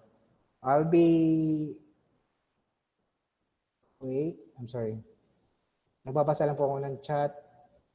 I'll be transferring you with to Joshua Corona with the formal uh, training with internet media literacy to enhance your learning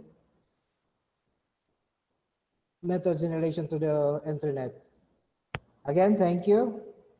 And I'll be transferring you to Joshua now.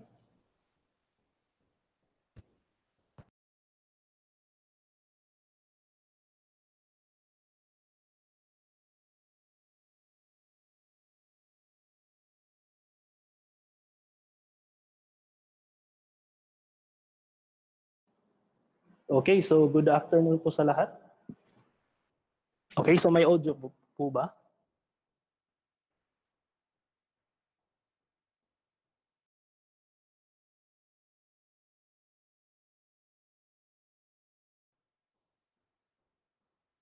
Ah, uh, meron po.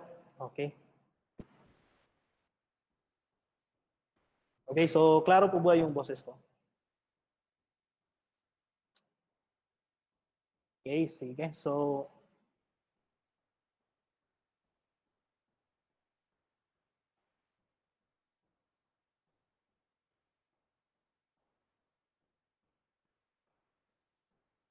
Okay, so good afternoon po sa lahat. Ah, ako nga pala po si ah, Joshua Corona. So, kasama ko po dito si Engineer Aris at si Engineer uh, Dines uh, Hodilia. Ah, sila po yung mga ah, partner po natin for monitoring po dun sa ating um, webinar po ngayon. So, bali po, ang digital literat- ah, literacy training po ay 5 days po siya. So, from November 9 to 30, no, 2020. So, 4 hours a day po to. So, a total of 20 hours ang makukonsume nyo. No? So, bali po, before po ng pandemic, yung digital literacy po natin is uh, actually 8 hours per day sana siya. Tapos, yung problema kasi is meron po tayong pandemic ngayon. So, sinorten po natin kasi yung mayroon din po tayong mga participants na iba na hindi po uh, malaki yung allocation ng internet nila. So, to give you overview lang po with regards po dun sa uh, training natin, meron po tayong um, uh, orientation with uh, kung bago tayo mag-start, no? So, okay. So, yung course orientation po natin is, um, ito po yung uh, compose po niyan. So, mayroon po tayong uh, objectives, uh, ano yung duration po natin, schedule, ano po yung methodology, uh, method na gagamitin natin, uh, tapos yung mga course stop po natin, certification, kung ano yung certificate po yung makukuha natin, tapos yung evaluation natin. Tsaka yung importante po natin yung house rules. No? So, sa objectives po, so diretso na po tayo. No? So, kanina, uh, si Sir Ares, uh, discuss po doon sa Tech for Ed. So, kumbaga, yun po yung platform for uh, e-education. No? So, doon po kayo mag-access. So, iba-iba po yung mga nandun. No? So, from health, agriculture, and so on. So, dito, um, yung digital literacy po natin, uh, ito po yung course objectives po natin. No? So, actually, basic po talaga to na course. No? So, yung iba na na-present ni Sir Aris, like kagaya ng uh, rural impact sourcing ay advanced na po yun kasi more on web development po yun, more on um, engagement with the actual clients. So yun, dito is more on uh, the fundamentals no. So sa about sa ICT. So yung core of, uh, course objectives po natin is to familiarize the management, no? So file management, learn basic browsing ang internet, email and social media. Actually, mag-feed po tayo ng mga, for example, sa security na side. So, doon no, mag-feed po tayo ng ganyan. Kung kaya po ng time natin. Then, mag-create po tayo, pick po natin is yung productivity tools, no? So, Word, no? Word yung the next din na topic. So, mag-create po tayo din ng mga spreadsheets. So, kagaya ng Excel. So, yung gagamitin po natin dito is yung Microsoft po na Excel. No? So, yung gagamitin po natin dito na course is 2016. Then, yung pagkukonstruct din po ng presentation using PowerPoint. So, bali po yung uh, sa PowerPoint, uh, magbibigay po kami ng mga tips, no? Kung ano yung gagawin, ano, kailan maglalagay ng animation, uh, transition, no? So, gagawa ng video using PowerPoint, paano mag-record ng screen nyo using PowerPoint. So, pwede po yan sa bago po nating uh, tools ngayon, especially sa Microsoft 365 po. No? Pwede po kayong mag-recording sa uh, computer niyo. No? Then next po is to acquire computer assembly and disassembling techniques. So actually dun sa actual po na training dito, yung face-to-face, is mag-disassemble, assemble po talaga. Pero yung problema dito is online po tayo, so uh, more on uh, presentation lang po tayo. Tapos magbibigay po din tayo ng uh, troubleshooting techniques no? at paano mag-maintenance ng isang computer. Then also, to understand uh, computer networks components and standards. No? So mayroon po tayo mga standards dyan, ano yung mga network na ginagamit. No? So pretty basic lang po. No? Okay, so ito po yung duration schedule and venue. Wala po tayong venue, so webinar po tayo, no? So kami po, nandito kami sa Cebu City. So yung iba nandun sa iba-ibang lugar sa Pilipinas, no? So November 9 to 13, no? 2020, 1 p.m. to 5 p.m. So make sure po, nandun po tayo sa actual uh, time po natin kasi yung attendance po natin, chine-check po yan ni Engineer Dines, no? So every day po, mayroon po kaming ibibigay na link for the attendance. Kasi yung attendance, ima-match po namin yun sa mga sinasubmit nyo na mga exercises para po uh, makikita po ninyo kung ano yung um, kung ano yung nasubmit, ano yung bibigyan ng certificate. No? So yung methodology po natin is lecture, then hands-on exercise remotely. No? So meron po tayong practical exam, no? or written exam kasi wala to, no? practical exam lang tayo. Then for the certificates, ito po yung sa certificates po natin. No? So sa certificates, magbibigay po tayo ng completion for passing rate of 80%. No? So mas malaki yung points po pag, nakasubmit po kayo ng actual na oras no? or actual na time frame na binigay namin. Then certificate attendance naman po doon sa parang nag-attend lang tapos nawawala lang. No? So yun. So 80%, uh, less than 80%. So nangyayari dyan is failed po. So certificate of attendance. Meron pa naman pong attendance. Then, um, course instruction and evaluation. So magbibigay po kami ng ganyan. No? So after dito po, mag uh, pre-assessment po tayo. No? So for 15 min uh, 20 minutes, uh, actually madali lang. No? Uh, answer lang po no? yun. No?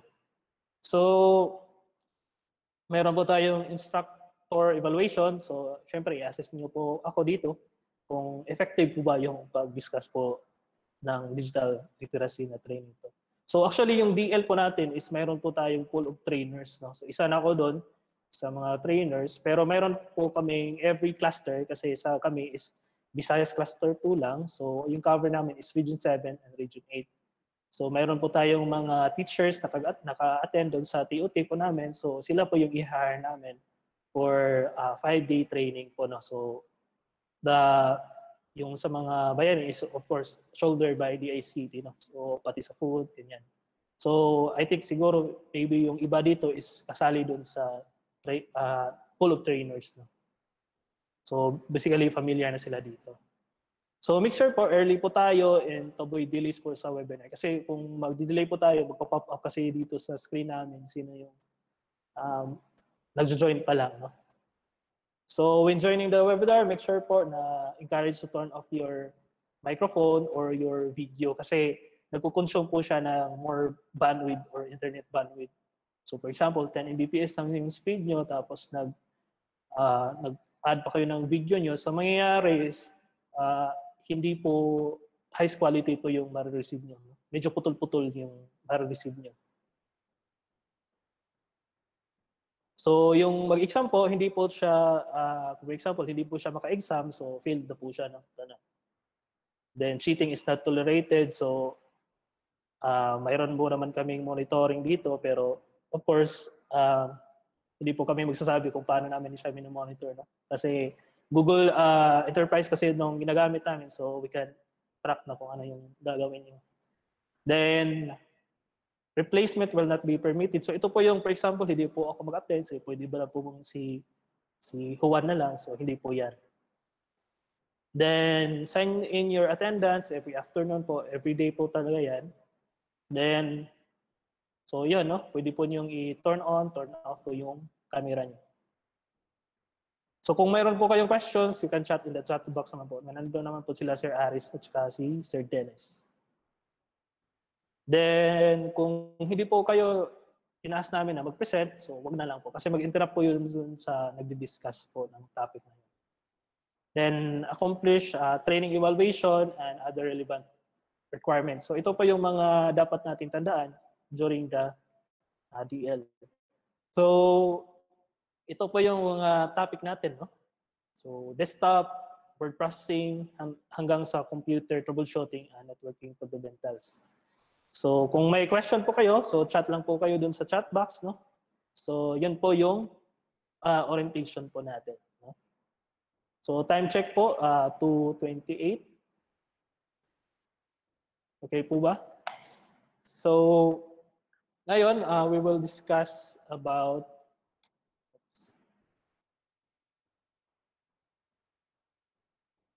So, sa schedule po natin, dito, no, nakalagay. Actually, mayroon po tayong mga changes dyan. No? So, mayroon po tayong i-add.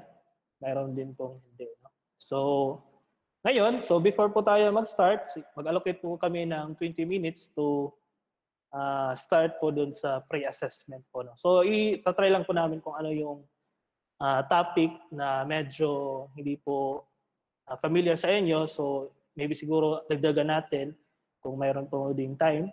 So take note po, no, recorded po itong um, uh, webinar po natin. No? So ipopost po yan doon sa Facebook page natin after po nito. Kasi uh, hindi po namin nila live uh, kasi for the intended uh, number of participants lang kasi dito dito. So yun po yung naka-register. So make sure po every login nyo po ng attendance, sakto po yung email address. Kasi minsan po naka-discover po kami na instead na For example, deped.gov.ph, yung nilagay is deped.com.ph. So gov gov.ph po siya, hindi po com. Kasi hindi po siya commercial. So government po siya. So gov.ph. So tandaan po natin yung email po natin. Okay, so ready na po ba with regards po doon sa yung sa ano, yung sa eh, pre-assessment? So yung submission po ng ating mga exercises, uh, actually wala pa gaano tayo ngayon kasi on overview pa naman to. So yung uh, mga exercises po na binibigay uh, ibibigay namin is ang deadline po niya is tomorrow po no. Alas 10 ng umaga yung uh, deadline po niya no. So kung so later is uh, ilalagay po namin kung saan kayo magsa-submit via email no. I-email lang po natin doon sa intended na So I think si Sir Aris po yung magre-receive ng uh, exercise files niya. No? So, so I think doon sa link po namin na binigay, uh, mayroon, kung i-access mo niyo po yan, so mayroon po diyang um, training uh, schedules and files. No? So pwede po niya, niya siyang i-explore. No? So again, uh, So before po tayo mag-exam, no? So dito, pwede po niyo ma-explore yung mga courses po natin. So sa day 1, mayroon po dyan. No? So, so mamaya, ma, uh, siguro ma, ma-provide din po ito ng additional na topic. No? Then sa exercise file, uh, maglalagay po kami dyan. No? So ngayon, hindi pa. No? Then, sa course outline, so sa day 1, kung gusto niyo i-explore, mayroon po dyan PDF file, pwedeng you can use as reference po dyan. No? So, dyan po yung topic natin. Okay, so during the exam, temporary po, unavailable po natin yung link. Okay, so marami po yan, no? from day 1 to day 5. So, you can explore na po. So, yung yung sasali po dito, no? So, make sure po, uh, hanggang day 5 po tayo dito, ha? Kasi 5 days po ito. No? So, kung ida-download niyo po yung file na ito, so, so lakihan ko na lang ng konti. So, yan. No? So, yung application form po, uh, you can right-click and download po. No? Kasi ito po yung basehan po namin kung sino yung nag uh, sumasali doon sa digital literacy training. Uh, so, kailangan nyo po yang i-submit within this week po, no? Uh, this week. So, pwede pa Friday, no? So, ito yung form. Kung ma-download mo po, po siya, no? So, mag-attach po kayo ng picture nyo. Tapos, you can type your name po dyan. Yan, no? So, make sure to open that po sa isang Word or Excel. Ano po yung gusto nyong i- uh, gagamitin, no? So, you can download po dyan, no? Using sa Google Drive. So kung naka-receive po kayo ng email, actually ito po yung link talaga. So kung naka-receive po kayo, um, nandito po siya. No? Sample lang. So ito yung link. So i-click lang po nyo tong download and training schedule. So pag-click nyo po yan, lalabas po yung ah, ito na link. So you can right click or click then download, no? Right click then download. So you can fill up the file po ito. no? So once ma-fill up niyo po 'yan, make sure po natin i-save po siya as a PDF, no? Save po natin siya as a PDF. PDF po na file. Na so medyo advanced lang to no, pero actually pwede pa tong Friday po niyo isa-submit. Basta within this week po. So so yung fill upan niyo lang po diyan is hanggang dito lang po sa designation, years of holding, and so on. So kung marami po kayong training, siguro yung ano lang, no? Yung related lang po doon sa ICT o like digital literacy, naka-attend ba po kayo? So you can check new or old. So bukas, bali gagawa po tayo ng ganito na form. So paano siya gawin ng ganito? So yan po yung some of our topics na. Next one. So dito, don't forget na scan nyo po siya, i-email po namin yung PDF. So make sure to add your signature po dito kasi ito po yung um, basihan po namin kung sino yung nag-attend. So basically, mayroon po kaming record kung sino yung nag-attend talaga ng digital literacy training. Okay? Then, another is um, sa monitoring po, uh, briefing lang po to, no? So sa monitoring po namin, actually mayroon po kaming um, Hanapin ko muna, no? So, ito po yung parang uh, monitoring po namin. So, for example, dito, nag-submit na si yung actual attendance kasi tinitingnan po namin yung actual attendance nyo doon sa sino nag-join sa Google Meet. Sample lang, ganyan. So, i-entry po namin yan after po yung sino makasubmit. Tapos, check po namin kung nakasubmit na ba po by day 1, day 2, day 3, no? So pag kumpleto na po to, complete na po siya, so so pwede po siyang ano or nakapasa po siya then mayroon po siya certificate of completion signed by our regional director. So yan. So ito po yung monitoring namin. So ipi-present po namin siya every day siguro, no? So or remind lang po namin kasi meron po mga list of pangalan dito. So hindi naman siguro sensitive yung pangalan no kasi hindi naman po siya kasali doon sa uh, sensitive information. So pwede na pong dito. So ipe-present po namin to kung sino po yung hindi, sino pa yung kulang yung sinabit po. No? So ito po yung mga charts po namin, kikita po namin kung ano, ilang yung percentage.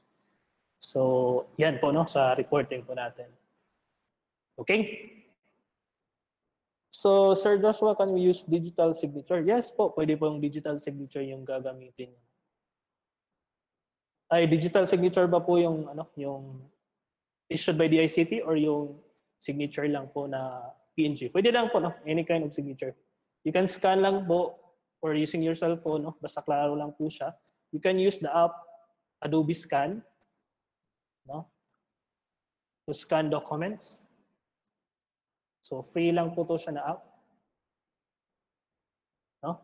Ganyan. So you can scan that one, then can uh, mag-export po siya ng PDF. So pwede nyo siyang isend po doon sa amin. So deadline po yan is Friday. Okay. So I think ready na po ba tayo for the assessment? So can you chat yes po? Kung hindi pa, no? sa chat box. Ready na po ba?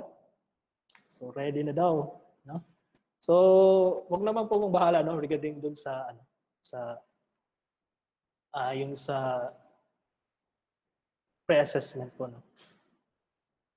So, let me check lang po doon sa form, no? So, yung application form.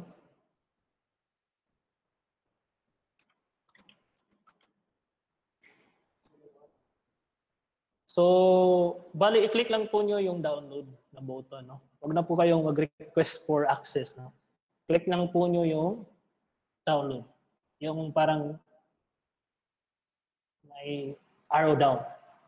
can use that one. So pag na-click niyo yung ah, link, you can click the download.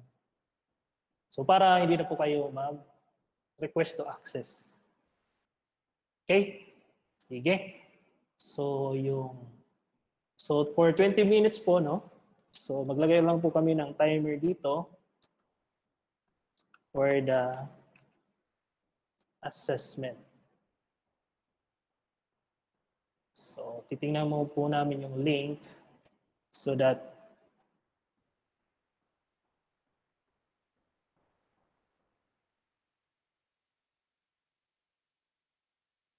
link po dun. Maybe Ah. so yung link po, ilalagay lang po namin doon sa chat box. Sa chat.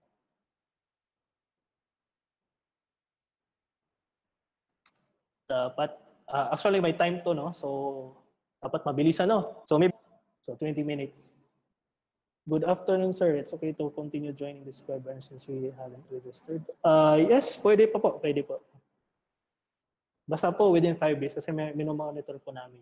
So don't forget the attendance po, yung attendance na binigay po namin doon sa chat. No? So yung deadline po ng attendance po natin is by yan po, hahanapin ko muna. Kasi yung mag-join is hindi na yung, mag- bago lang mag-join, hindi makikita yung ah, nasa chat. So ganun po yan. So, post ko yun. No? So, attendance. So, sa 3 p.m. po siya. No? So, make sure naka-attendance po kayo kasi i-check po namin yung attendance niyo. Okay? So, bali yung exam po is ilalagay lang po namin ah, wag, mamaya, no? Later.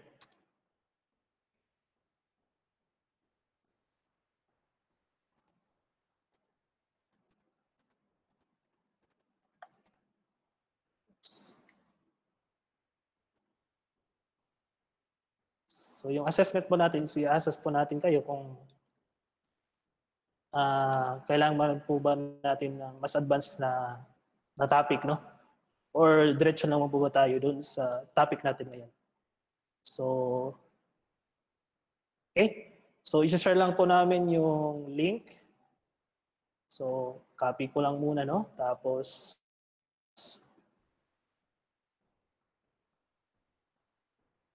Okay, so nandito po yung assessment natin. Ah, sige, wait muna. No? So, ah, for one minute.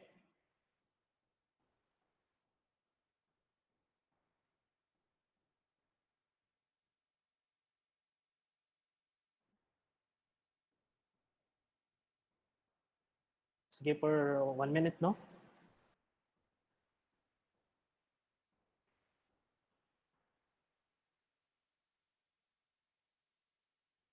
So doon doon po yung later na po yun or mamayang after DL po natin, pwede po yung i-download po yun. No? So pwede po ba po yung deadline po naman doon. So yung picture, make sure meron po yung picture doon sa form, no?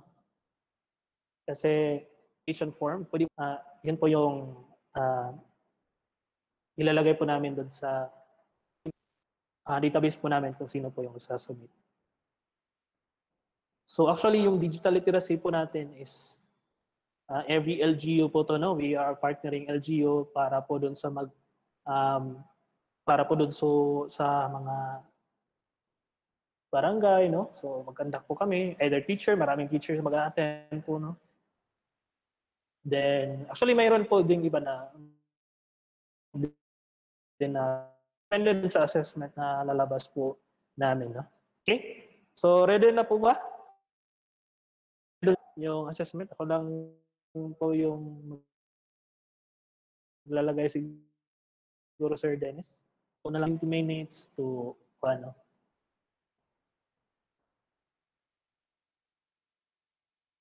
Sige, so may problema po yung internet no sa iba. So, ganun po talaga yan, no? So, I think dito sa DayCity, okay naman din yung connection. Sige. Um, okay, so start na tayo.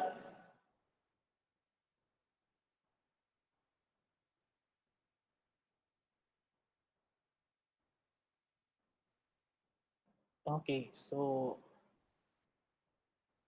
check lang po namin. Ah, okay.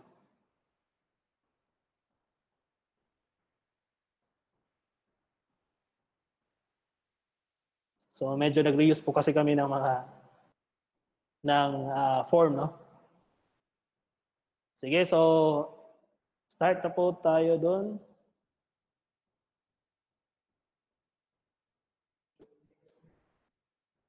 Okay, so start na po tayo, no? So yung link po, binigay po ni Sir Dennis doon sa chat.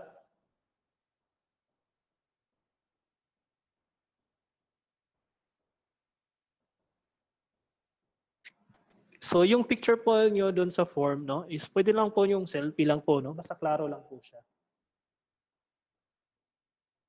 Tapos, ah, ah, later, ah, siguro after po ng, so maybe tomorrow, i-discuss po natin kung paano siya i-attach yung picture, no? So, don't worry, no, no, hu- huwag niyo po yung, ah, so check lang po natin, no? Actually, na-change na po namin. Ah, kindly reload na lang po doon sa form.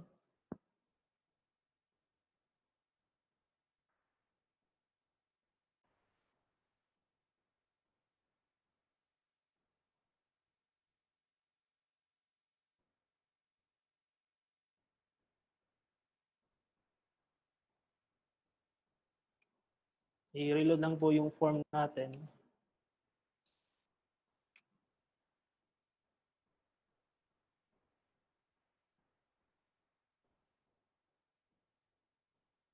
So reload lang po yung ano, ah yung yung browser po natin, no. I-control R lang po.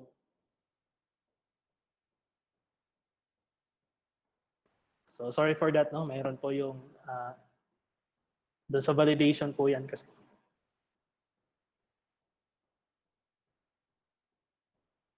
Okay, so start na po, no?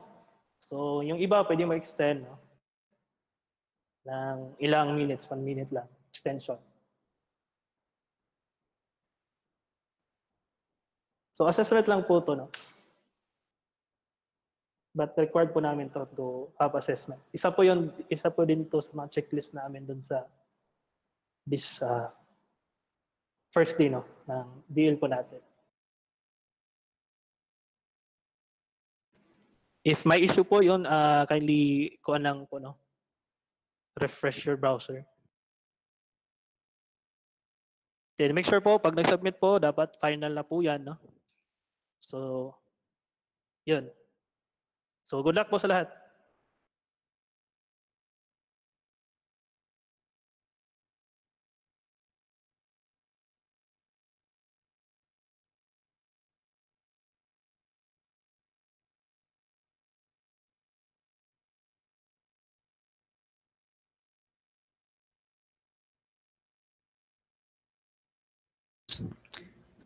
Sa lahat po, um, just to ensure everything, um, lahat ng impormasyon na uh, ibinigay nyo, hindi po gagamitin sa iba, kundi sa DICT lamang. Dito lang po sa di- uh, digital literacy na gagamitin yung mga impormasyon na nakukuha namin. Hindi po isi- isinishare namin nor ibibigay namin sa any third party dati bawal po yan. Lahat po na impormasyon na na-share nyo sa amin, hanggang dito lang po sa DICT yan. Hindi po lalabas yan. Thank you.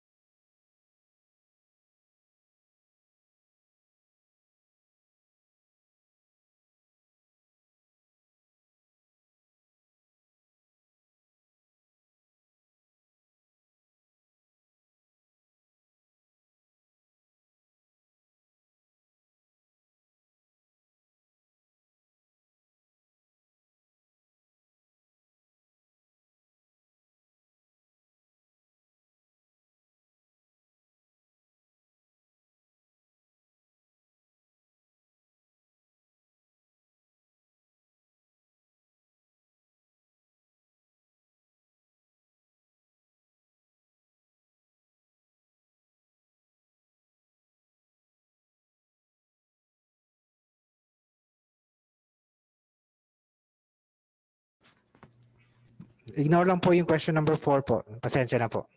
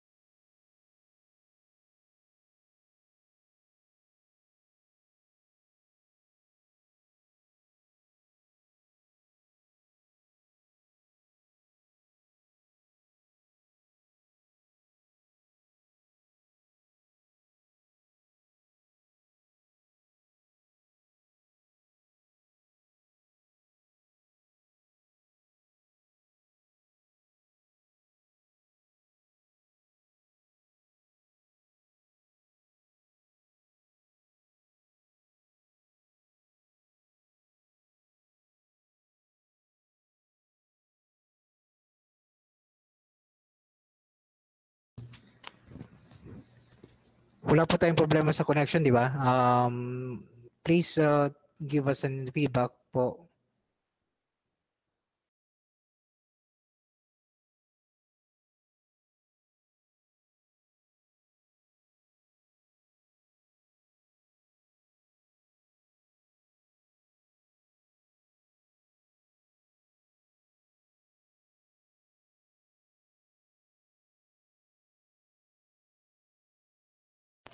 Sa mga nanghingi po ng Tech World Centers, uh, I'll be sending an email, a list.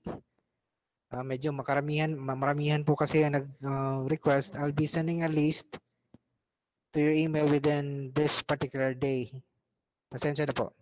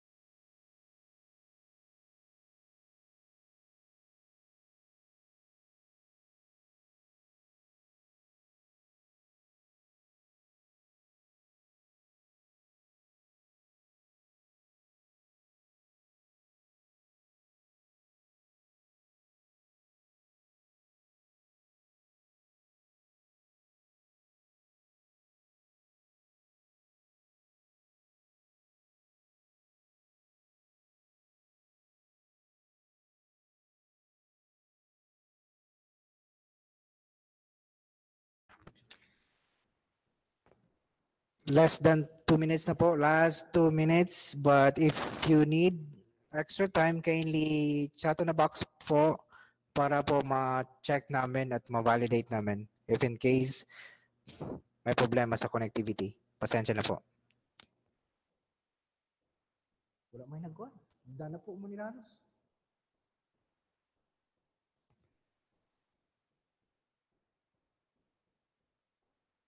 Just 17.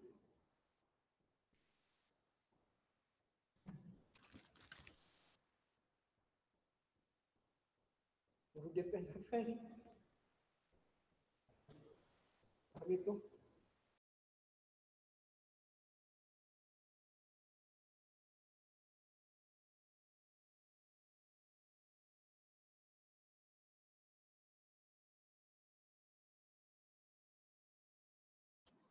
Okay, so last 46 seconds na lang po, no? So, pag submit nyo po yan, mayroon po yung ano yung mga ah, result, no? So, wala pa yung score na binigay. Release po namin after.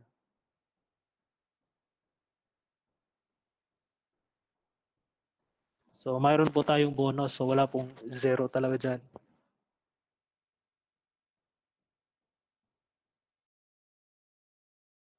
So, last 17 seconds.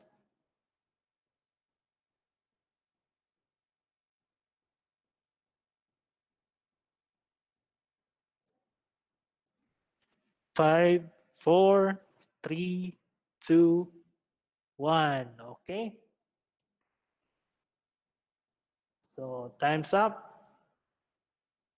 po yung submission, no?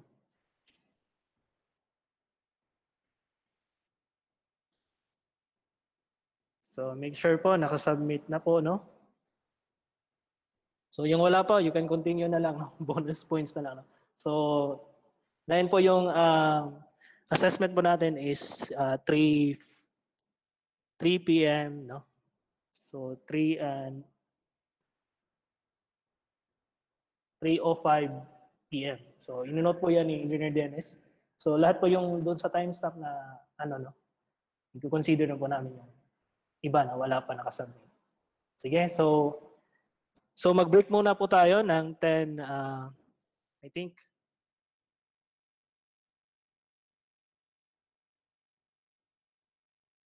So break muna po tayo ng 15 minutes po, no? So by 3.15, balik po 3.20 na lang, no? 3.20, balik po tayo dito, no?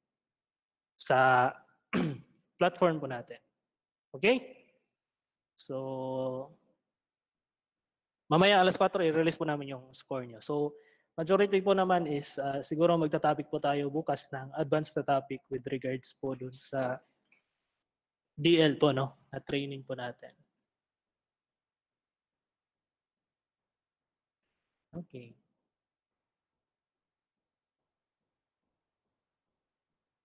So, mayroon nagtanong po dito, if mayroon kayong question, what is output is needed to be submitted today?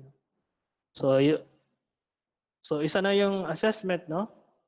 So, kung early kayo mag-submit ng um, application form, pwede din, no? So, so yung Tech for Ed po natin kanina is ano lang po yun, no? Um, hindi po yun uh, mandatory. So, pero pag meron, uh, i-check po din namin kay Aris to consider po doon sa submission din po nyo, no?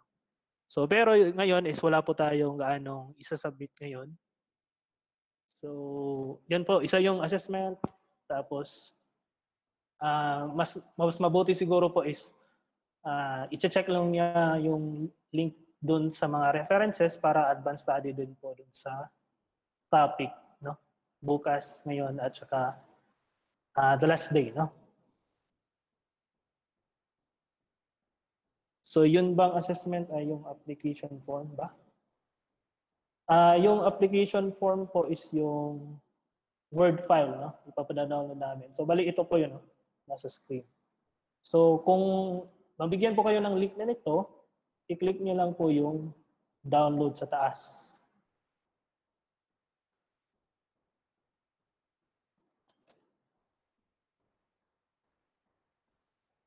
Okay.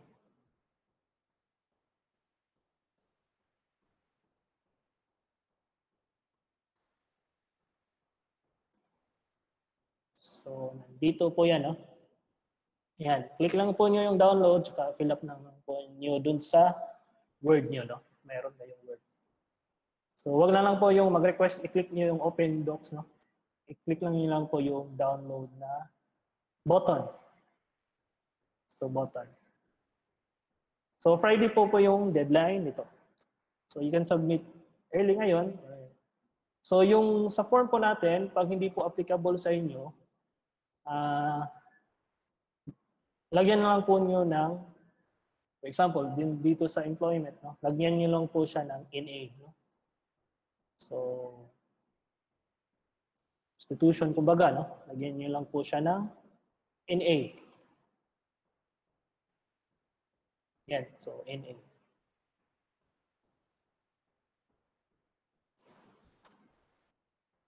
So make sure po yung dito, uh, you can um, print po or attach lang po ng signature dito, no? Insert lang po yung signature niyo, picture.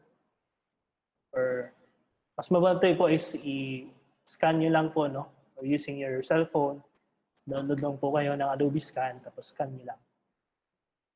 Tapos i-send niyo via email. So yung picture po dito sa taas, You can use your phone no, to have a selfie dun. I-attach nyo lang po yung using your... Uh, click nyo lang po siya, tapos hahanapin nyo lang po yung asan yung file ng picture nyo. So, again, uh, Friday po po yung deadline. So, bukas siguro or mamayang hapon, if mayroon pong time, magdi-demo po tayo kung paano siya mag-attach ng picture. So, yung application po is send nyo kay Engineer Ares, no? So ares.zeta at dict.gov.ph. Course applied po is digital literacy. So yung date po niyan is ngayon, no? Ngayon yung date. Yung course applied for is uh, digital literacy po. Eh, digital literacy po kasi ito. Or shortcut lang po yan, DL or Digital Literacy Training. So parang ganyan, ha? Digital Literacy Training. Okay? Sige, uh, babalik po tayo by 3.20 p.m. So, pwede po kayong mag-snacks na. So, sa yung walang snacks, tubig-tubig lang muna, no?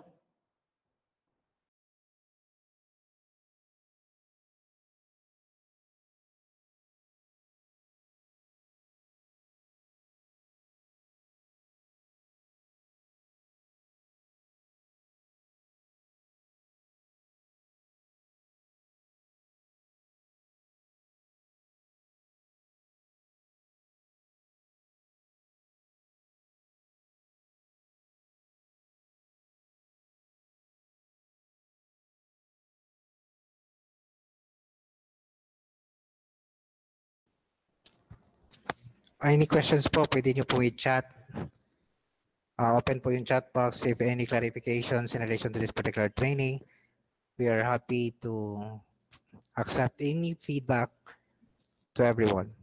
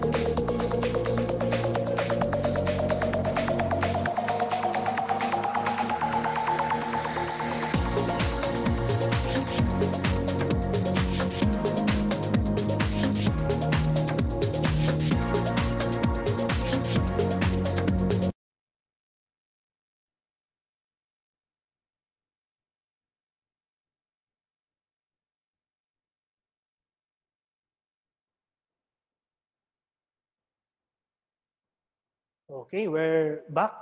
No? So, may nagtatanong dito, okay lang ba hindi lagyan ng signature? No? So, uh, yes, pwede lang po. No? So, pero lagyan nyo talaga yan.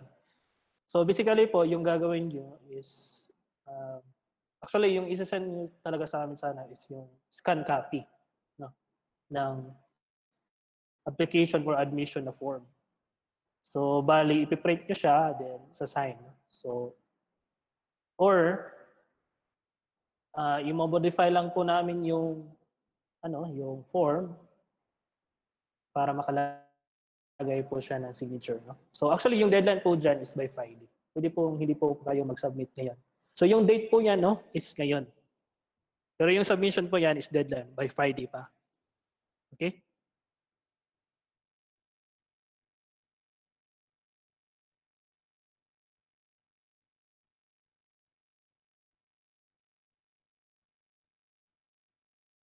Okay, so don't you worry regarding sa admission for application na form.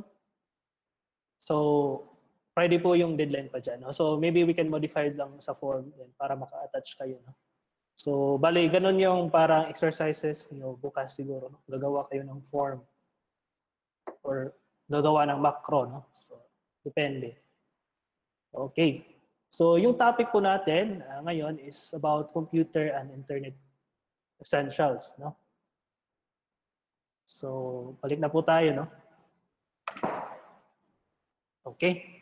So, yung iba dyan, no, uh, I think nag-in out sila kasi yung internet po natin. So, we'll consider lang po regarding po dyan. So, ganun po talaga ngayon. So, dahil sa pandemic, no? Okay, so yung first po na topic ngayon natin is about computer and internet essentials. So, in-insert lang po natin yung uh, Tech for Ed kanina. So ngayon, uh, okay, so bali basic lang po to na topic, no? Okay, about internet, uh, computer essentials. So yung topic po to is um, actually sa free wifi po to, no? Under the capacity building po na uh, free wifi po na topic. Kasi kami, nag-install kami ng mga uh, free wifi sa mga public places, like for example, public schools, So meron din iba dyan na hindi nalagyan kasi may problema po tayo doon sa location ng lugar. No? Location. So location ng school kasi yung problema is malayo siya doon sa uh, transport natin or yung source ng internet po natin. Kasi yung internet libre, pero yung tubo po no, na, or yung wire po na pupunta doon sa kanyo is uh, actually hindi po yan libre. So kaya medyo ano siya no. So nahihirapan po kami diyan kasi yung uh, yung land mas ng uh, Pilipinas is mahirap siya kumpara sa ibang bansa na isang whole island lang. Well, dito sa Pilipinas is kalat-kalat. So, medyo yan yung problema ngayon. So, then yung iba is na ano pa doon sa Bagyo, no? Okay? So, back to our topic about computer, uh, computer essentials. So, okay lang siguro i off ko yung camera ko. Okay? So, meron ko namang picture dyan. So, anyway, yung computer essentials mo natin is, uh, yung, ito po yung objectives po natin. So, uh, ano lang po to, no? recap lang po to with regards to uh, computer, uh, computer essentials. So, ito po yung objectives po natin. No? To identify four basic functions ng computer po natin for computing. Then identify the different parts of the computers. Actually, nandun yun sa exam nyo, no? Then describe the hardware and devices uses. So, check ko lang kung i-share ko muna, no? Sa screen.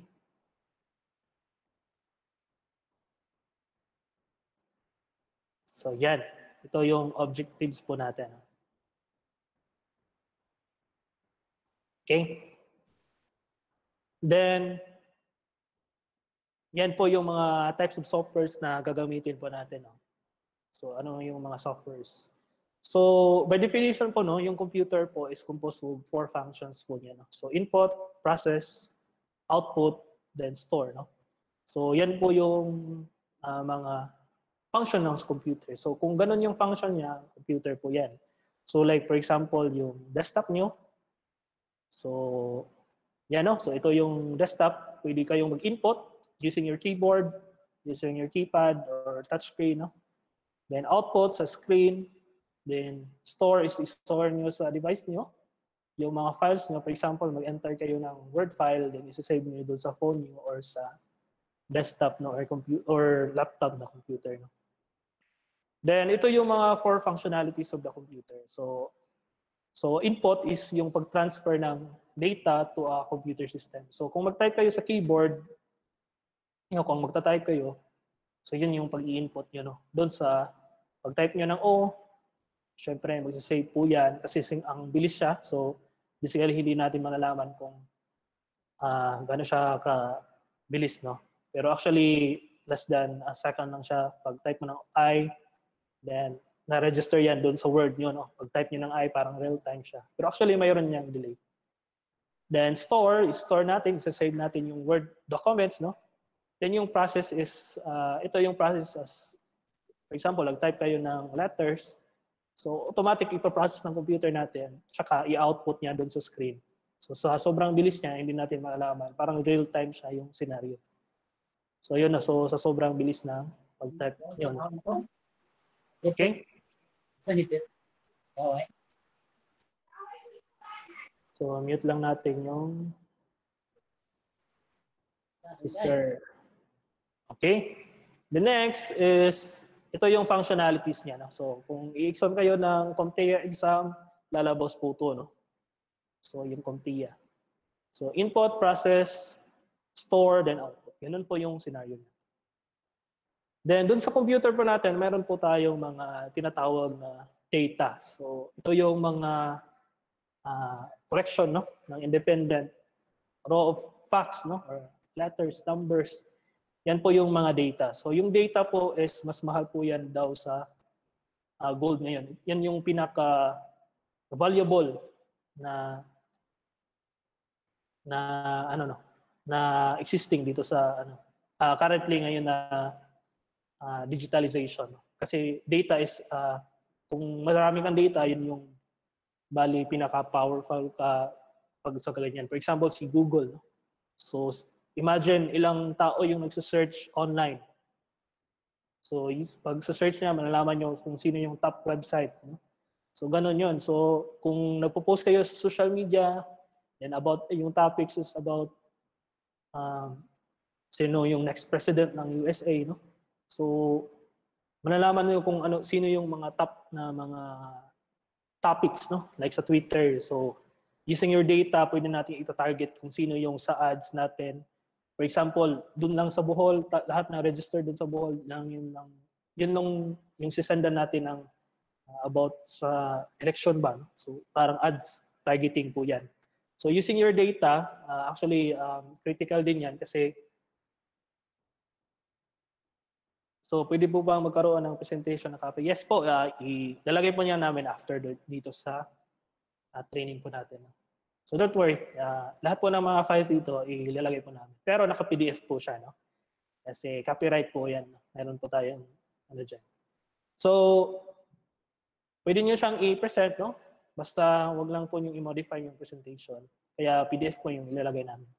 So yung data po natin is, so ito po yung mga sample na data. No? So for example, ito yung kinukuha natin na data, yung pangalan nyo, edad, address, ida, uh, year, no? Date birth, and occupation nyo, civil status. So ito yung kinokollect natin na mga data. Then, So a data is made of meaningful based on the needs of user manipulation. So yan, so pinaprocess po natin yung data natin. So yun, nakolekta po natin yung data natin. So yung pangalan, tapos sinusort po natin yan. Pinaprocess po yun natin yung data para maging um, understandable po doon sa atin aside. So yan, pag pinaprocess po natin, like gagawa tayo ng Google Forms, So ina-arrange po natin yan dun sa based on ano siya ang classification or category or ano siya ang area. So pag ganyan, for example, dun sa Excel, then sa database like SQL, no? or ano pa yan na structured data. So tinatawag po itong structured data kasi naka-structure po siya. Pero kung yung tinatawag po natin na unstructured ay yung Word, PowerPoint, kasi hindi po siya naka-structure. No? Pero meron po siyang tinatawag na metadata. So yung metadata is a data itself. No? So nandiyon yung information ng data niya. So for example, itong picture na to, uh, alam nyo ba na kung mag-picture kayo, nandun po yung nakatag yung location nyo. No? So ganun po yan. Kung nag-picture kayo ng cellphone nyo, nakatag po yan kung saan yung location, ano yung size. So yan po yung parang metadata niya. So yun po yung ma-consider as uh, unstructured data. So yung sa Excel, sa database, yun din yung kinonsider natin na structured data kasi naka-structure siya based on so anong anong mayroong siyang rows, ang columns, no? So, yun. So, ito yung information natin, no? So, mas madali nating mahahanap kung ano yung mga name ng participants, address, birthday, no? So, ganyan. So, yun, yun yung about sa data. Then, sa computers, ito yung mga types na mga computers ngayon, no? So, actually, right now, we're using desktop, no? So, ito yung mga, isa sa mga, kasi yung mga iba is hindi alam kung ano yung, for example, itong box na to, no? So, anong tawag nito, no? Yan. So, ito, tinatawag ito siyang system unit, no? Hindi po to siya CPU. System unit po siya kasi yung CPU is nandun po sa loob sa kanya, no? Yung central processing unit po niya. Yung brain po ng System unit po siya kasi nandun po lahat ng uh, RAM, nandun po lahat yung uh, motherboard. No? So ito po yung keyboard, ito po yung mga consider out output, output po itong monitor and mouse is an input no? kasi nagkiklik tayo dyan. Okay? Then laptops, no? So, or notebooks. Netbooks, yung maliit. Notebooks is yung malaki, no? So, portable computers po to siya. No? So, yung difference lang ng desktop tsaka yung laptop is yung architecture niya. Kasi yung architecture ng laptop tapos desktop is minimize kasi ng uh, kung ano yung nasa desktop, kino-compress natin doon sa laptop. So, kung makikita niyo tong laptop na to, actually MacBook to siya. So, nangyari is nakahiga lahat yun. Para nakahiga yung mga RAM, nakahiga yung keyboard. So, ilalim ng keyboard is yung motherboard. No? So, ganun. So, kino-compress lang. So, medyo mahal siya. No? Kung, kung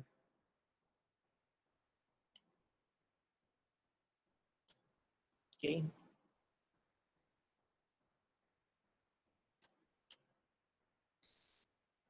Sana yan.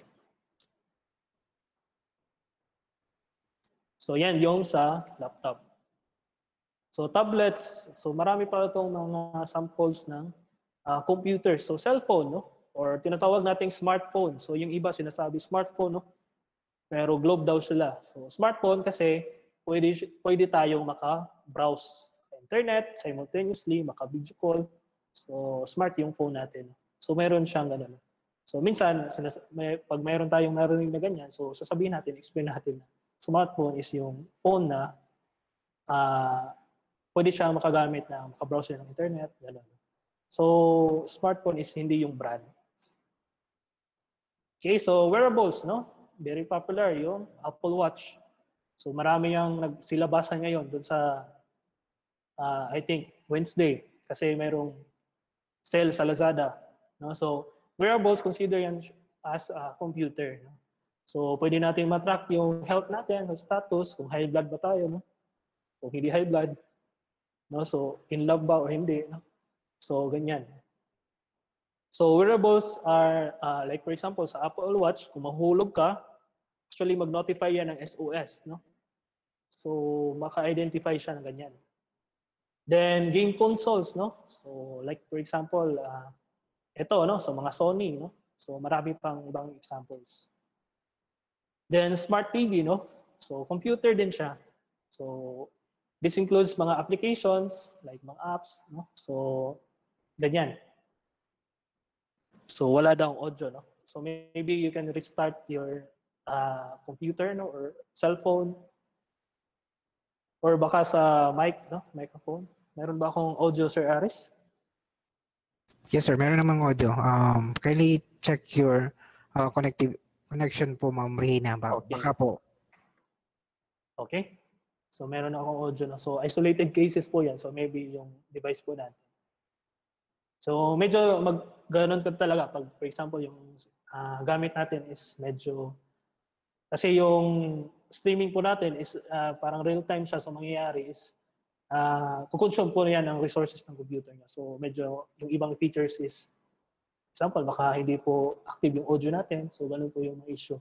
So most of the time 80% po sabi nila pag i-restart ko na yung devices mo is masasolve yung problema. So maybe you can update your application para at least ma-patch din yung mga software, um, mga bugs. No? So, yung sa computer system po natin is uh, composed po to ng dalawa. No? So, hardware, yung mga device na mahahawak natin. So, yung software is yung mga applications. No? So, yung hardware po natin is kagaya ng uh, keyboard or monitor. No? So, RAM, desktop, basta yung mahahawak natin ng mga gamit or uh, devices, ito yun po yung consider as uh, hardware. Then, uh, dito, uh, isa na to sa mga example, no? like keyboard, ito yung mga input devices natin. So, ito yung keyboard noon sa typewriter. Then, ito yung keyboard ngayon. So, mayroon siya mga functionalities sa taas for added functions. No? So, mas dumadami siya. No? So, actually, from the history no, sa computer is, yung design ng keyboard is nag-change siya. No? So, mayroong ibang mga design, pero usually ito yung ginagamit nila na standard. QWERTY na keyboard. Kasi na, mayroon siyang QWERTY. So, QWERTY na keyboard. So, sa mga shortcut natin, for example, mag, uh, ito yung mga shortcut natin. Uh, magagamit kasi yung shortcut kung, for example, mabilisan na pagtrabaho. No? So, Control E is to select all, Control C is to copy, Control X is to cut, and so on. No? So, refresh is F5 kung sa keyboard nyo kung uh, either laptop or desktop. No? Control Y is to redo, Control Z is to undo. No? So, kung ibabalik nyo, no? So, Alt Tab naman is yung switch ng Windows. So, expert yung mga magaling maglaro, no? Kasi kung for example, nagtatrabaho, Alt Tab lang nila yan. Magsi-switch yung application. So, later, no? So, switching uh, Windows, kasi Windows kasi yung mga, for example, mag-open ka, meron siyang window, no? Meron siyang maximize, minimize. So, you can switch Windows or kung ano yung in-open mo na application. So, ito naman yung mouse, no? So, meron siyang parts na mga primary button, secondary button.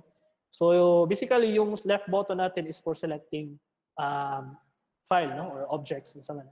So, yung secondary button is more on uh, more options. Yung mga options niya. All natin is basically more on scrolling kung for example website siya no.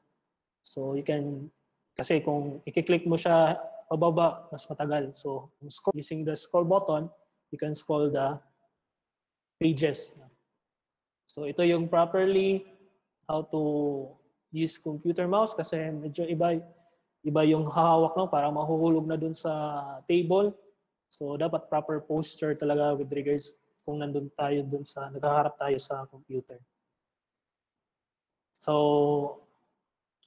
medyo yung iba is expert na dito so we will take advance na lang regarding dito no. So ito yung mga scanner no. So basically ngayon medyo meron pa ba yung mga scanner? Meron pa naman siguro no. So like sa mga printer nandoon naman siya So yung scanner is an input device no kasi magre-read siya ng isang text no. So magse-save yan doon sa desk, sa computer mo. Then microphone no. So merong iba't ibang mga microphone, merong mga wireless, uh, mga, wired and camera no. Ito yung mga input na mga devices. Then yung mga output devices naman po natin is yung mga sa hardware to no. So ito yung monitor, printer kasi nakikita natin yung output niya kasi nagta-type tayo sa Word, nakikita natin yung output ng pag-type natin. Then yung speaker kasi naririnig natin yung boses natin. So mayroon din tayong headphone, no?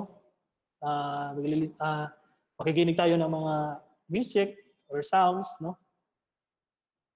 Then internal components ng computer. So dapat malaman natin to kasi for example, mayroon naka-trouble, ano to siya gawin? Walang audio, ano yung problema? Baka putol yung ano, yung cord. So ganyan. So dapat malaman natin yung mga components niya. So yung CPU is ito yung CPU. So ito yung consider as the brain of the computer. So or central processing unit. Ito yung uh, definition nila. So siya yung nagpa-process ng ano natin, uh, computer, no? So siya yung kung wala siya, hindi mapaprocess yung mga uh, instruction natin, no? Actually, written by program to. Kung example, ipe-present natin ito sa monitor, so si CPU ang magbibigay ng instruction to present? Then si motherboard, uh, ito yung uh, single platform, no, that connect all parts together. So, makikita natin dito na area, i-zoom natin, no? Dito si Diyan si CPU, no? nakalagay. So si CPU, mayroon siyang pure gold. No? Meron po yan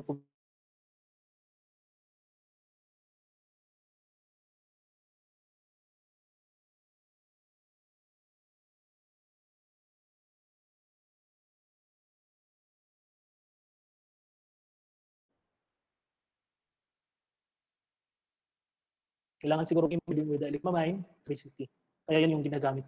So yung RAM is uh, ito po yung uh, volatile no na kung walang storage. So ito yung uh, primary storage natin. So so later malalaman natin no. So itong si RAM actually yung purpose niya is save natin temporarily uh, application diyan no. So kung malaki yung RAM ng device mo o yung cellphone mo, mas mabilis siya. No? Pag ganun. Kasi marami siyang tinatawag natin na cache. Yung kaki or cache. No? So yung cache natin, yung parang temporary uh, magsisave siya. So kung mas malaki yung RAM mo ng equipment mo, mas mabilis yung computer na. Tsaka yung yung yung CPU nyo, kung maganda yung specs niya, high-end siya, so mas mabilis. So basically, kung sa structure ng structure po natin ng RAM at saka CPU, actually, magkatabi talaga sila. Either nandito or nandyan. Kasi dapat, uh, parang mayroong bus line dyan. So dapat siya yung pinaka-direct line. Kasi kung mag, uh, mag-open tayo ng Word, yung mangyayari is kung for, for example, yung RAM natin is uh, 4 gig, So, ang mangyayari dyan is, kung mag-open tayo ng file, so mayroon siyang allotted na storage dito. So, kung mag-open tayo ng Word, for example, 1 gig, pag-open niya, 1 gig yung uh, pag-open natin. So, yung yung ma-receive ng, for example, yung RAM lang natin is yung ma-receive niya or ma-process lang niya is uh, 500 MB. So, yung 500 MB, ibabalik niya yan doon sa secondary storage natin or yung hard drive natin. So yung 500 na MB isa is ipaprocess niya doon sa CPU. So kung malaki yung RAM mo, so yung lahat na 1 gig, pwede na ilagay dito sa RAM. Tapos ito yung short-term memory niya. So isesend natin yan doon sa CPU. So mangyayari is mas mabilis yung kasi mas mabilis tong RAM kaysa hard disk nyo kasi nag-rotate yung hard disk nyo or HDD nyo. So mas mabagal yun. Ito is mas mabilis to siya. So yung problema lang niya, kung walang source ng kuryente, mangyayari, uh, hindi masasave, no? Hindi siya masasave yung file niyo. So kung kung mag-control S kayo, so nagsisave siya doon sa uh, secondary storage, hindi doon sa dito sa RAM. So so yung 1 gig nyo, i-divide niya siya by half. So isa sa only niya yung 500 na na, na ano na instruction. No? So yung 500 na isa, is ipaprocess na ng computer, yung sa CPU. Pinakulang yung 500, iloload na naman niya from the storage. So yung na hard hard disk, balik na naman dito sa RAM. So hard, hard disk to RAM to CPU, parang ganun. Then output siya to printer to monitor. So ganun po siya. So basically, in short po, kung bibili kayo ng mga devices, kung gusto niyo ng mas mabilis is mas maganda yung mas malaki yung storage ng RAM. Then, yan, no? So, mas maganda siya, mas mabilis. So, like for example, itong desktop na to, ginamit namin, siguro 64 gig yung RAM. No? So, ganun. Kasi kung konti yung RAM mo, yung problema, maglalag yung computer mo.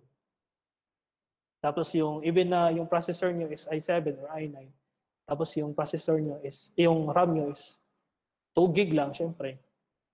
Parang, ano, slow yung response niya. So yung secondary storage na naman is yung composed ng ito yung mga magsisave ka temporarily or yung permanently or persistent yung pagsisave nyo. No? So ito yung hard disk, mayroon siyang disk, no? So kaya kung mahulog siya, ang mangyayari dyan, so for example ito, kung mahuhulog siya, magasgas yan dyan. Kasi meron siyang plating, parang ganito siya. No? So ang mangyayari dyan, uh, dapat, example, mayroon kayong laptop, tapos hard disk siya, huwag niyo siyang iuga-uga.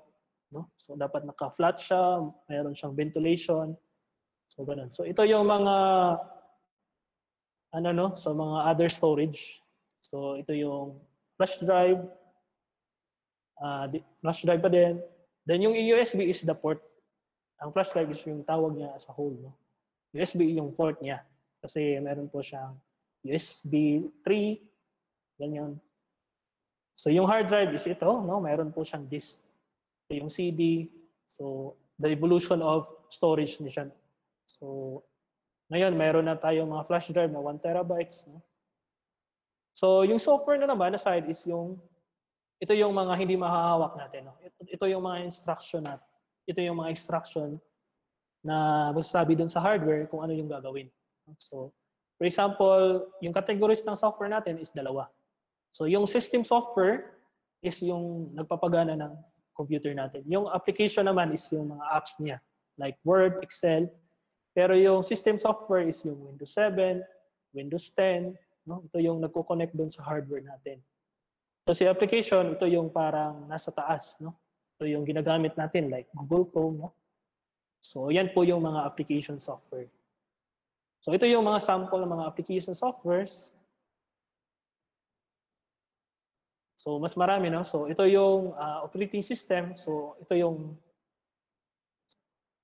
tinatawag na system software, no?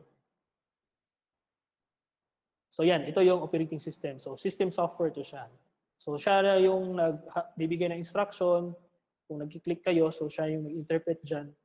So siya yung mag-instruct doon sa keyboard, sa hardware para paano siya mag-functions. Then ito yung mga uh, types of operating system. So marami, no? So for example, yung sa cellphone nyo is Android. So sa laptop, mayroon tayong uh, Mac, Mac OS, Windows. So actually marami, no? Maraming free. No? So mayroong Linux, libre lang siya, like CentOS, libre lang din. So kasi yung karamihan nag uh, nagpo-process ng ating uh, for example sa server is mga tinatawag na Linux, no? So free lang siya, no? So yan yung ginagamit doon sa mga database. So so 'di ba mayroon yung software, hardware. So yung isa naman is yung peopleware. So tayo yung nagpo-program, nag-troubleshoot, no? So ito yung mga pinakailangan, no? So tatlo yan, hardware, software, and peopleware. So yun yung doon sa computer essentials. So Meron ba kayong katanungan? So kung wala, so let's proceed to the next topic.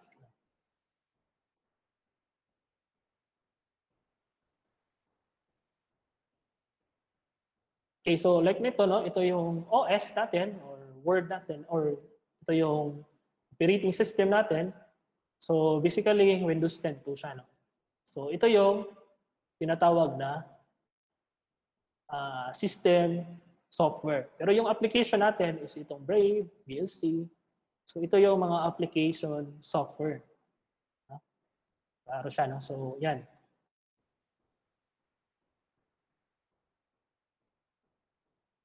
Okay. So the next is pupunta naman tayo doon sa file management. So ito yung next, second topic natin.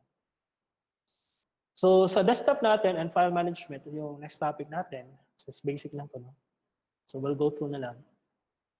So ito no, so ito yung anong tawag namin ito no? Ah, ito yung tinatawag natin na system unit. So hindi po to siya CPU, system unit po siya.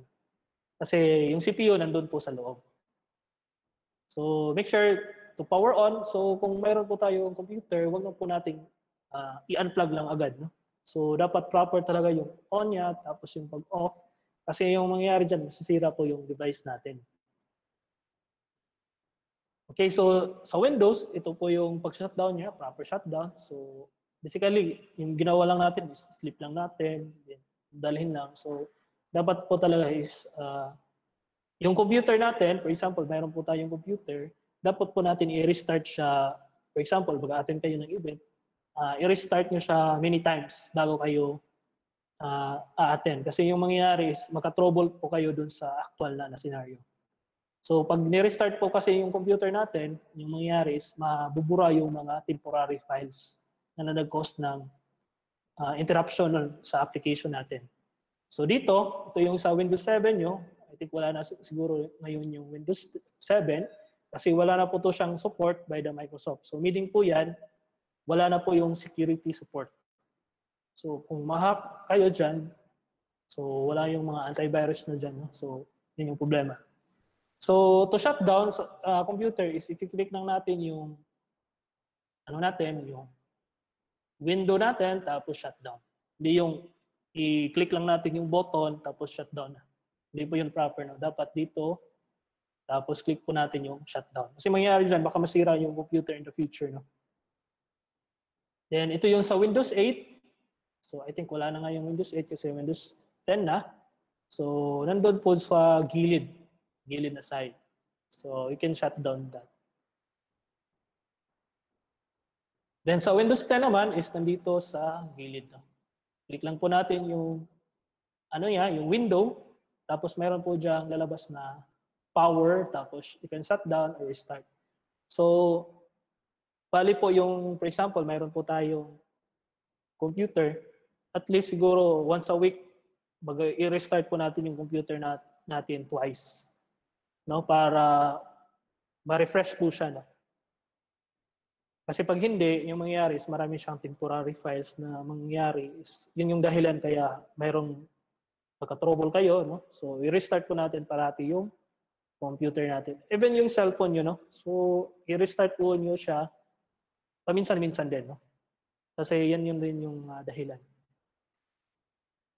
So ito yung environment ng Windows 7 so kilalanin po natin to kasi kung mag-exam po kayo, meron po sa sa mga ITEL, ganun, meron po siyang mga definition kung ano to. No? So dito, yung, ito yung tinatawag na program files. Tapos ito siya is tinatawag natin na icons. Kung ano yung nasa desktop. So mga icons po yan. No? So ito yung quick launch toolbar nandun sa baba, kung sa Windows 7. Then ito naman yung tinatawag na start button. Yan. Ito yung start button. So ito yung whole na start menu. So sa Windows 7, meron, uh, Windows 10, meron pa din yan. Yung start menu niya. So yung notification bar, nandito. Nandito yung mga time, uh, internet status, audio. Then ito yung tinatawag natin na taskbar. So for example, mas maganda to kasi malalaman nyo. For example, na magka-trouble, tatawag pa tayo ng IT. So mangyari, mag-instruct yung IT, sa taskbar, i-click. So, mangyari, hindi natin alam kung saan yung taskbar. So, yung taskbar is nandito sa baba. You can move your, your taskbar, you can click and drag. Pwede nyo siyang nandun sa taas, sa gilid. Pwede nyo siyang i-move yung taskbar nyo.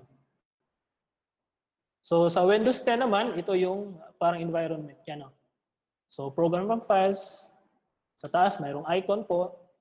Then, dito sa, bas, labas, uh, sa baba is the quick launch bar. So nandun po siya sa taskbar. Then mayroon tayong start button or the window button. So pag-press po natin ng window dun sa keyboard, ano po siya. Then the same pa din yung start menu and the notification. Yan. So kung iba-ibang OS, depende po siya yung forma. No? Iba-iba din. So yung focus lang natin is Windows. No? So yan. Ganun din dan sa Windows 8. So start menu, icons, and quick launch toolbar. Uh, toolbar. So, file management and storing, naming, and sorting, handling computers. No? So, basically, kung mag-store po tayo ng uh, files, is ilalagay po natin siya doon sa folder. Basically, kung, kung sa physical po yan, kung mag-sort po ta tayo doon sa records, i-classify doon talaga natin, ilalagay na po natin siya sa folder. So, yung files po natin, ilagay po natin doon sa folder. Hindi po doon nakalagay lang doon sa desktop. So, according sa survey daw, uh, medyo messy daw yung sa mga babae. Pero sa lalaki daw, medyo organized daw. Kasi mayroong mga hidden hidden agenda yung sa mga lalaki. So, kaya siguro organized. So, gano'n, no? So, yung file natin, ilalagay natin doon sa folder. So, later, no? So, like ganito. So, yung file natin, either Word, presentation, or PowerPoint, and spreadsheet. So, ito yung mga file natin. So, para mas organized siya, ilalagay natin doon sa folder. So, para ding physical na folder, no? Meron siyang file sa loob. So, mas organized siya pag ganyan. So, yung folder, lalagay natin yung file dyan sa loob para maka, ma, ano siya, no? ma-categorize siya kung ano siyang file. So, basically, kung meron kayong files na 2020, pwede nyo siyang lagyan na 2020 files no? sa isang folder. So, ito yung tinatawag na File Explorer So pag click mo yun sa Fire Explorer, lalabas yung window na to. No? So yung window panel na yan, ito yung tinatawag na Fire Explorer. So meron siyang ribbon, yung red. Yung blue is the location siya, no? Or the address bar. Then dito is the nav- navigation pane. So dito naman yung search bar para mag-search kayo, no?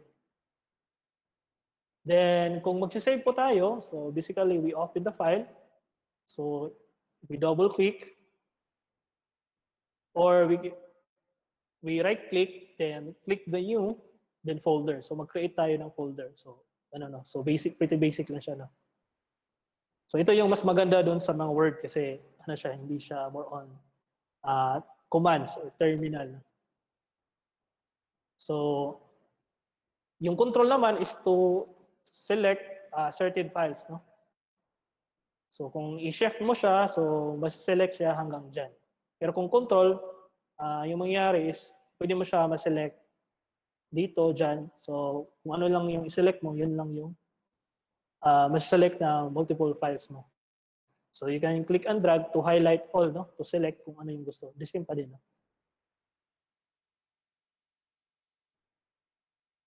So So drop uh, moving files, no? You can click uh, the file, then drag to other files. So you can move the cert the documents, no? So using your mouse, no? you can click, then drag. Pwede mo siyang i-drag, no?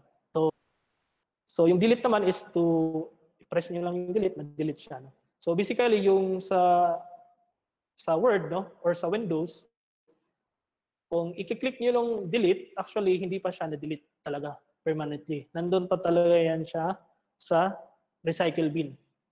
No? So, kung i-click nyo yan. Pero kung mag-shift delete kayo, select nyo yung file, then i-press nyo yung shift delete, yung mangyayari is permanently delete siya. So, hindi nyo siya makahanap sa recycle bin. So, yung purpose niya dyan is, for example, kung na-accidentally natin na delete, pwede pa nating ma-retrieve. Yan, no? So, permanent delete, can shift, then um, delete the files. No? Okay, so yun, yun yung about sa file management. So the last topic is about internet essentials. No? So dito, med medyo meron tayong mga other topics na i-insert. Okay, so meron bang mga questions so far, Sir Aris? Wala? So far, sir, wala naman ang ano, nakapost. Except for Ma'am Regina. Uh, Ma'am, hindi po kayo nakapag-take ng exam? Uh, yung parang pre-test? Assessment. Pre-assessment? Okay, so yung link po naman dun sa assessment is uh, nandun pa naman. So bukas pa yan ma ano matatanggal yung link. So, again, so moving forward, no? So, internet essentials. So, medyo mas mabilis lang po tayo. No? So, sa internet essentials, ito yung mga essentials po dun kung tungkol sa internet. No? So, by definition, ito po yung definition ng internet. No? So, yung internet is isa sa mga sophisticated na structure no? sa buong mundo. No? So, composed of routers, uh, switches, uh, ano pa yung mga equipment dyan. So kung nag-internet kayo, basically, yung phone nyo is dumadaan yan sa iba't ibang uh, lugar. No? So for example, ako no, so for example, yan. So to test,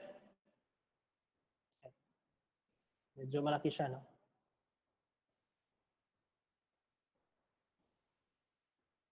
Wala.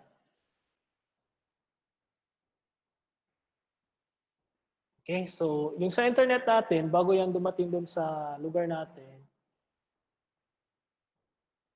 so medyo nag-magnify lang siya. No?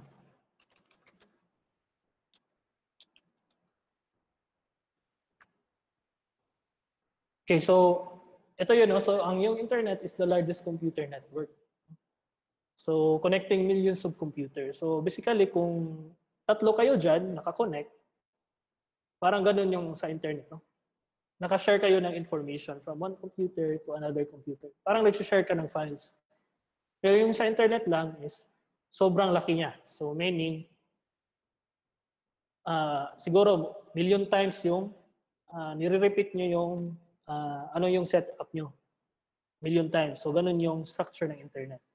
So that's why pwede ka makakonect doon sa ibang bansa, no? So kagaya ng Facebook, kahit ang Facebook is wala dito sa Pilipinas, maka-access ka doon sa uh, sa Facebook, no?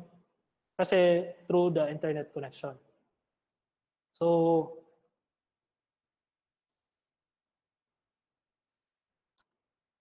Yeah, no? So yung network is a group of two or more computers uh, system linked together. So basically, ang computer natin is naka-connect po siya, no? Or naka-network po siya, no? Naka-connect. So, ito, uh, ipapakita ko lang yung network cables, no? Ng submarine.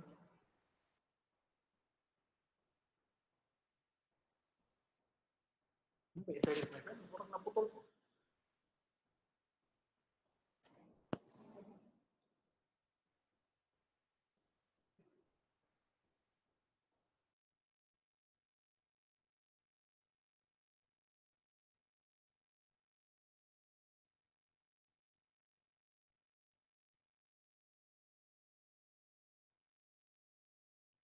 Okay.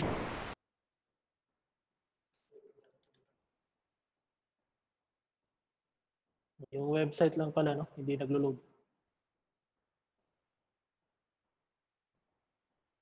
So basically, yung ano natin is connected by via submarine cables, no?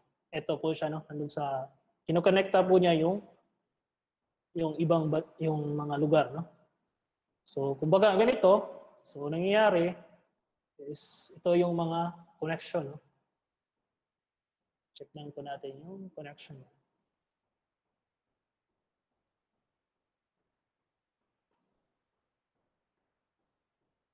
So yan, no? So bali nakakonekta po yung uh, kaya kung kayo, kung magpe-Facebook kayo, maka-access kayo dahil connected po yan so, through fiber submarine cables, no? So yan, so dito sa Pilipinas medyo ano siya, marami na. So yan, ito yung mga high, high speed transport po yan. So diyan po tayo makakonect ng makakonect po tayo doon. Maka-access po tayo sa Facebook doon sa United States. Kahit sa sobrang layo niya, mas mabilis siyang maka-access kasi fiber po siya nakakonect. So yan. So connected siya through network. Then internet is a physical network. So yun po yun, no? yung mga kable. Tapos meron po tayong tinatawag na World Wide Web. So yung first na website is parang hindi talaga maganda. No? So yung first website po ng ah, uh, CERN, no? so was created siguro ni Tim Berners-Lee. So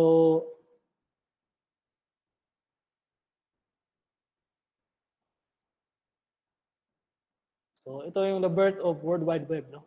So ito yung si ano, sino, sino yung nagawa? So si Tim Ber- Berners-Lee, no? so a British scientist, no? Invented the World Wide Web. So yan yung dahilan kung bakit naka-connect tayo, no? Sa mga website, no? Kasi mayroon tayong HTML, so siya yung magawa, no? So ito yung first na mukha ng website noon. So medyo hindi siya maganda, pero ito yun, no? Ito yung word first na World Wide, na World Wide Web. So hindi siya maganda kumpara ngayon, mas graphical. Then yung sa web browser naman is yung ginagamit natin. Like for example, Google Chrome, uh, Brave, no? ito yung mga browser natin. Siya yung dahilan kung bakit maka-access tayo ng mga websites. No?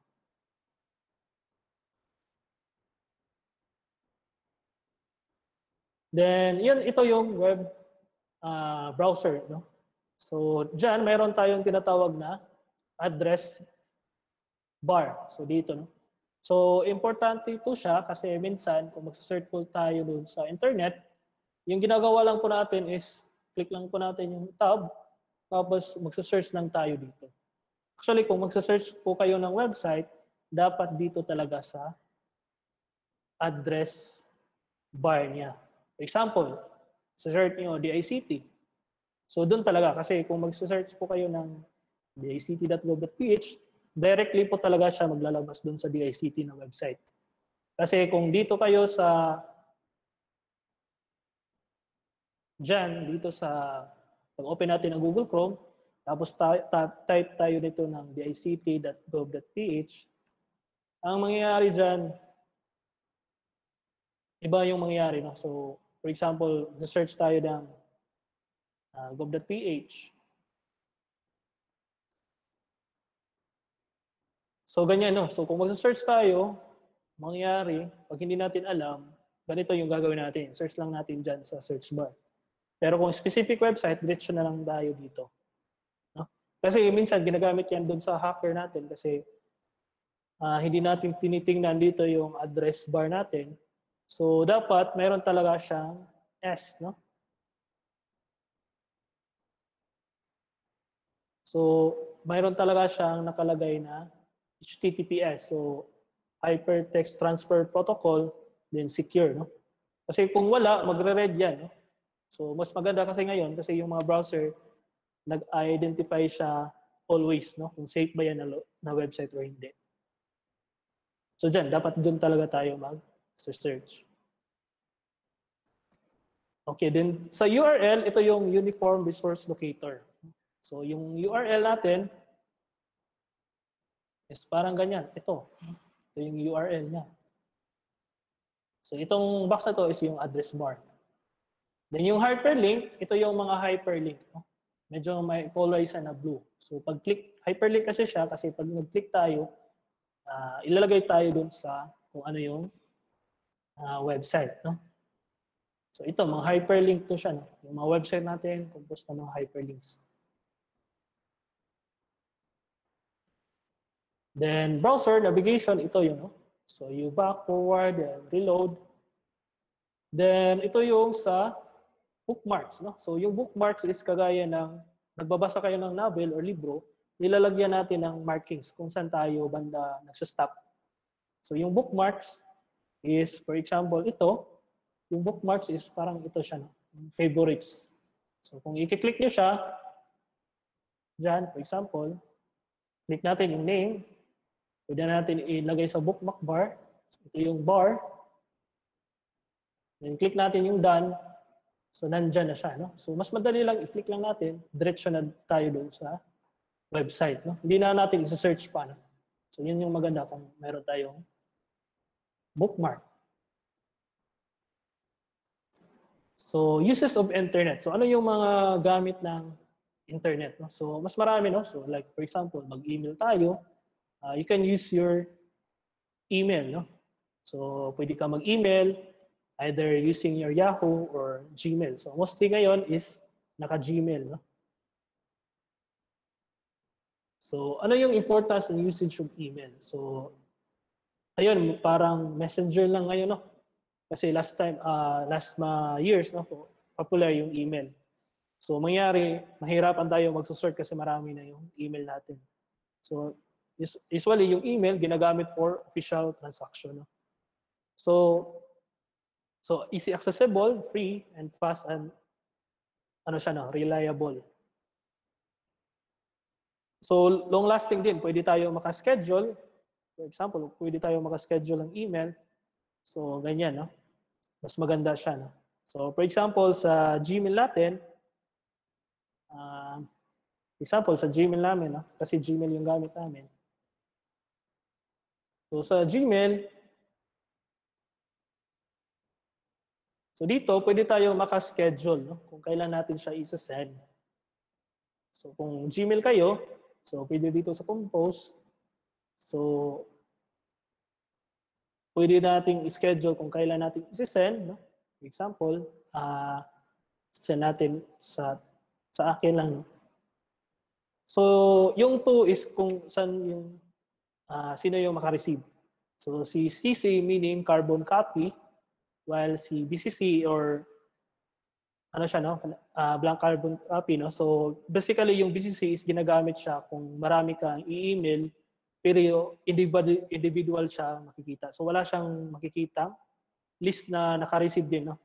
So individual siya. So kagaya sa inyo yung ginagawa namin is nag-BCC lang kami.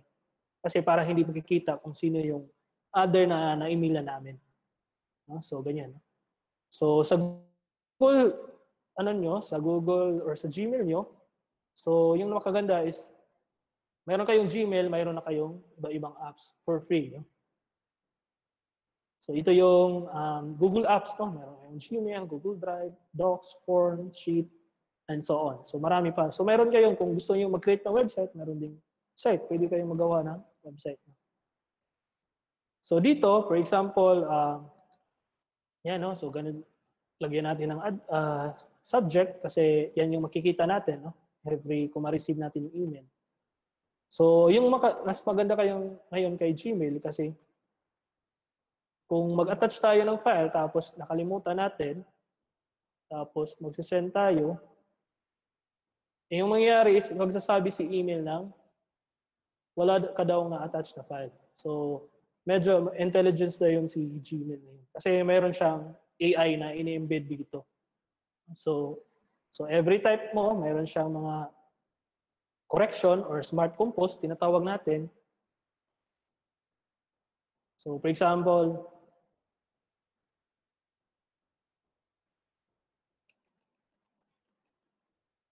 type kayo ng message dito. So, pwede nyo siyang i-send as a confidential mode para mabawasan lang. No? So, pwede niyo lagyan ng password para para ma-open nyo yung message, no? So, pwede din siyang lagyan mo ng expiration. So, ganun, no? So, hindi mo siya ma-save, maga, kasi sabi nito, recipient won't have option to forward or print to download pag confidential mode. So, kung sa messenger naman, ano siya, equivalent to siya sa secret conversation. No? Yung block, may mga type na uh, pwede mo siyang ma-delete pag ma-check niya yung message, so pwede siyang ma-remove. So ganun, no? So mas marami pa yan. Pwedeng emoji and so on. So sa DayCity, we offer yung tinatawag natin na uh, PNPKI or the Philippine National Public Key Infrastructure. Ito siya. Uh, actually, nag-offer po to siya ng uh, security for email. For example, government-to-government -government transaction So kung sino yung intended na user talaga, siya lang talaga yung makabasa ng email. Kahit na the same account ka pa nag-login. For example, Gmail mo, nag-login ka sa other computer, kung ano lang yung device na naka-register, yun lang talaga na computer yung maka-open. Kahit the same na account kung ginamit nyo. So, meron po tayong ganito. So, you can apply. Free lang po yan. Yung PNPKI. No?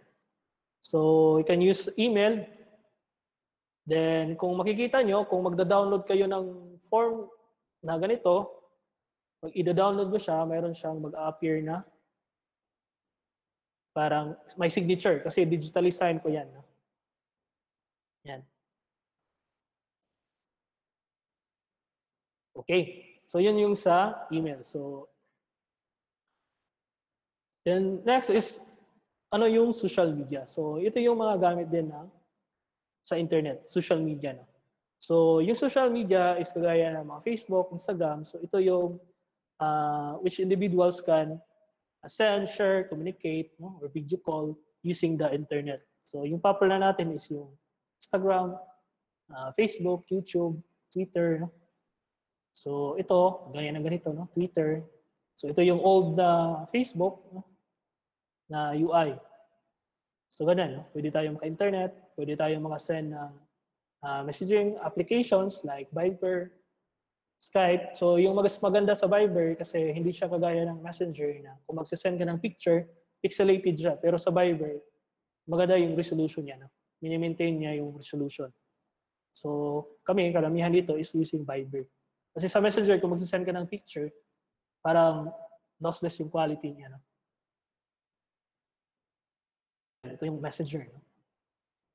So, pwede kang walang Facebook, pero mayroon kang messenger. So, ganyan. So, ngayon, yung new features ng messenger is pwede ka nang maka-message dun sa Instagram. Kung mayroon kang Instagram na account, pwede kang maka-message from messenger to Instagram. Ito yung latest update niya. No? Or from Instagram to messenger, pwede din. So, kung mag-download tayo ng application, make sure na hindi yung sinishare it lang natin. No? So, download talaga tayo dun sa Play Store kasi meron siyang signature or tinatawag na digital signature. So, bine-verify natin kung legit ba yung software. No? So, kung magda-download kayo, meron siyang green na ganito. No?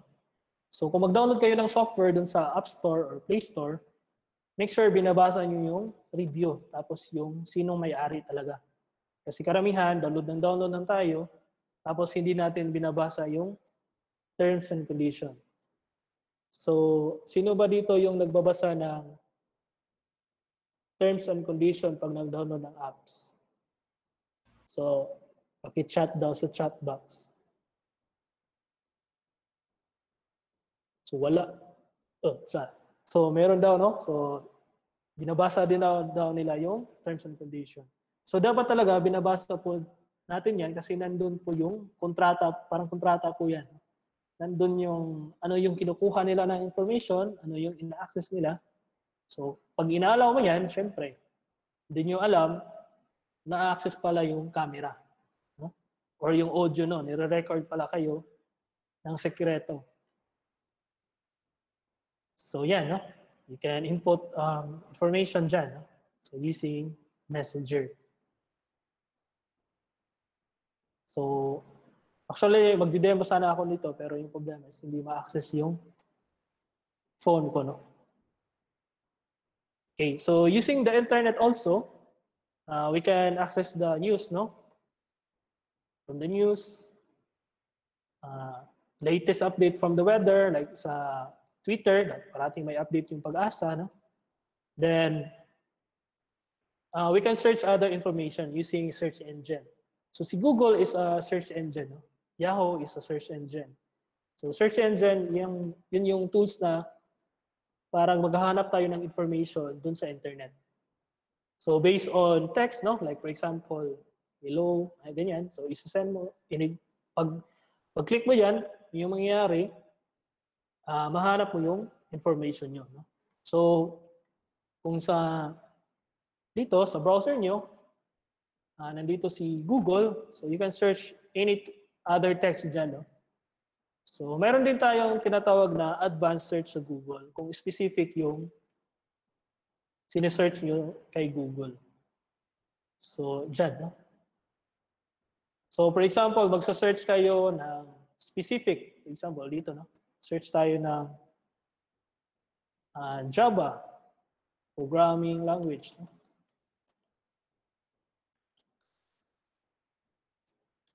So kung specific na word na mayroon talagang Java programming language, you can uh, add quotation, no? double quote sa end. So hinahanap ng search engine yan yung specific na words or na word. No? So pag nag-type tayo dyan, lahat ng mayroong Java programming language, lalabas talaga yan dito.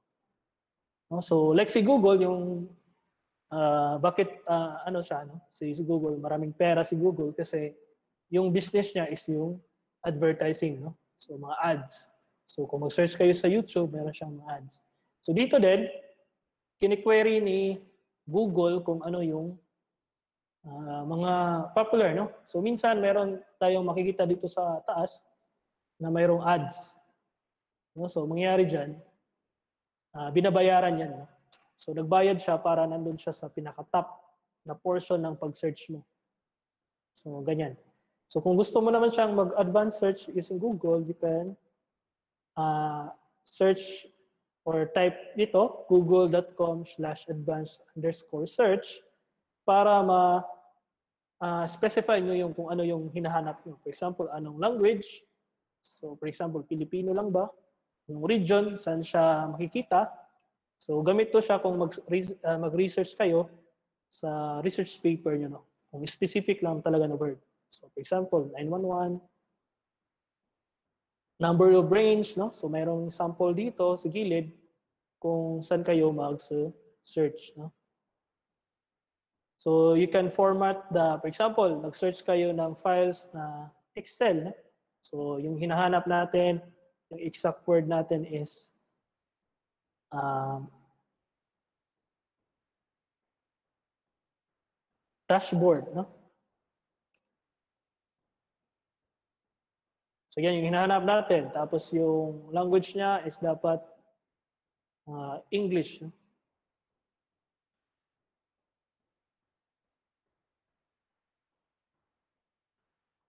Tapos for the last hour ba, na-post siya or last few weeks or anytime, no? pwede. So sa na website, no? pwede doon sa Microsoft. Then anong file type? No? So you can use Excel. So you can also search kung Creative Commons license or free pa siya i-gagamit or yung may commercial na bawal bawal siya gagamitin sa commercial purposes. Pwede mo siyang masasort. So kung magsa-search tayo, so dyan, dito lumalabas yung So wala daw lumabas na ganito. Pero meron siyang nilagay na ganito, no? So kung makikita nyo, meron siyang XLL, XLS na file. Kasi ito yung lalabas. So specific to dashboard, yung hinahanap natin. Site, microsoft.com. Then file type, ano. So si Google, uh, ano siya, mayroon din siyang knowledge with regard that. So hinahanap niya dito. Dito siguro yung uh, specific na gusto mong hahanapin. No? So you can translate this page, no? Pwede mo din siyang i-translate. So pag nag-click ka dito, ito ba yung hinahanap mo? So meron po siyang uh, file na Excel. So by adding file type, tapos kung ano yung file type dyan, or like PDF, so specific talaga, PDF yung lalabas.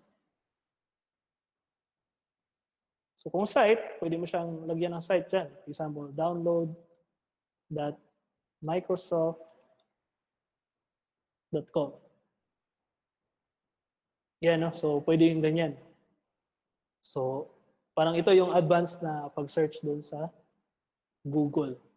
So, ma-filter mo talaga kung anong website lang yung mag-appear.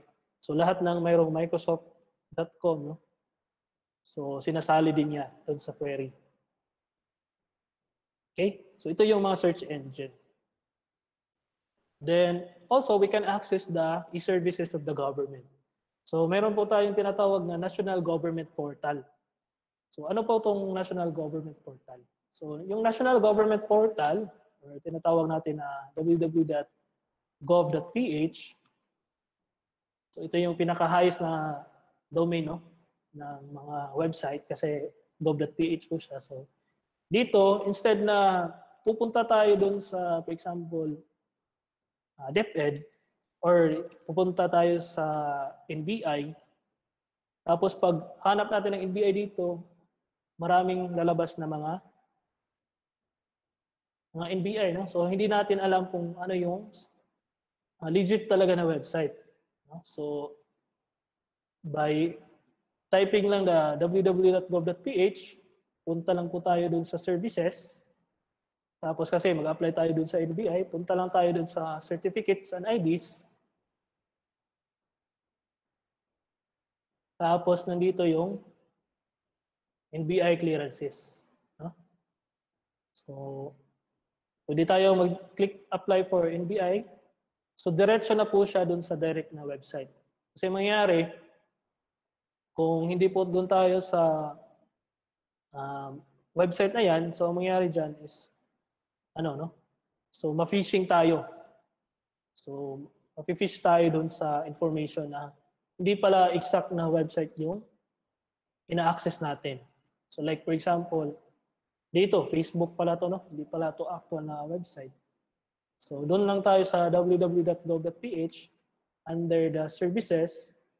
Then, nandyan, no, nakategorize yan for contribution, disaster, weather. So, pag ni-click natin yan, so, pupunta tayo dun sa mga checklist, no? Weather updates. So, sa mga tax, nandyan din. Sa passport and travel, kung gusto nyo mag-apply sa uh, DFA, click lang natin yung passport and travel. Diyan, no? Dito makikita natin. Ito yung parang direct link talaga. Instead na mag-search kayo dito sa Google, type natin passport. Tapos nangyayari is, for example, hindi ganito yung lalabas. So hindi natin alam kung ano talaga yung official website. So ito, pag-click natin sa US pala, no? PH. Tapos sa US Embassy pala to. So ganito, iba palang website. So instead, typing sa Google, punta na lang doon sa gov.ph, enter. Tapos under ng services natin, punta lang po tayo doon sa mga kung saan kayo gustong maghanap ng information. So about the government, mayroon din dito. So the Philippines. So mayroong information dyan. No? And so on. So, pwede mo siyang mahanap siya. So, dito, just click na lang directly. So, sa baba, pwede mo siyang ma-export kung ano yung mga, mga websites na nakabilangan. For example, sa Philippine News Agency, PIA. So, about COVID, nandito din. Emergency, uh, emergency hotline. So, ano yung mga official website ng National Government Portal, nandito din. Tapos, dito sa baba, uh, meron tayong mga survey dyan no, to improve the services. No? So like for example dito sa free wifi, no, magbigay tayo ng internet, free internet sa mga affected ng typhoon. So si Luzon Cluster 3, no? Diyan, pwede natin ma-access. Instead na going to dito, search tayo doon sa Google, ma-fake news pa tayo. No? Dito na lang tayo sa gov.ph. Kasi kung ano yung pinapublish ng information, ng government, official talaga yan. No? So, doon tayo sa legit na information. Hindi yung dito lang sa Google tapos makikita natin sa social media. So, para ma, ano din, uh, mahiwalay natin yung fake news, dapat yung pag-search natin is uh, i-validate talaga natin many times yung information. No? So, minsan, naghahanap tayo sa Wikipedia lang, ganyan. Tapos, search tayo ng information dito. So make sure na yung information yan, binabalidate natin. No? So for example, hanap tayo ng about sa internet. So dyan, dito naman sa baba sa Wikipedia, meron naman dyan lang. Uh, references, no? Can validate the references, no? Said going through sa definition yan. No? So, pwede nyo siyang i-access by clicking the hyperlink. So, kung mag-alt tab tayo, so yan yung mag-alt tab tayo. No? So, magse-switch siya sa mga application natin na ino-open using alt tab. The next is, so like gano'n, no? alt tab tayo. So, yan. Okay? So we can access the services of the PSA. So did you know na pwede tayong kukuha ng um, PSA no? using uh, through online. No? So through online, i-deliver lang nila yan dun sa atin. no? So parang ano na, door to door, no?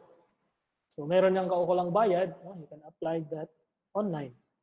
So how to apply is punta lang tayo dun sa PSA or punta tayo dun sa gov.ph tapos under dun sa services certificate and IDs no?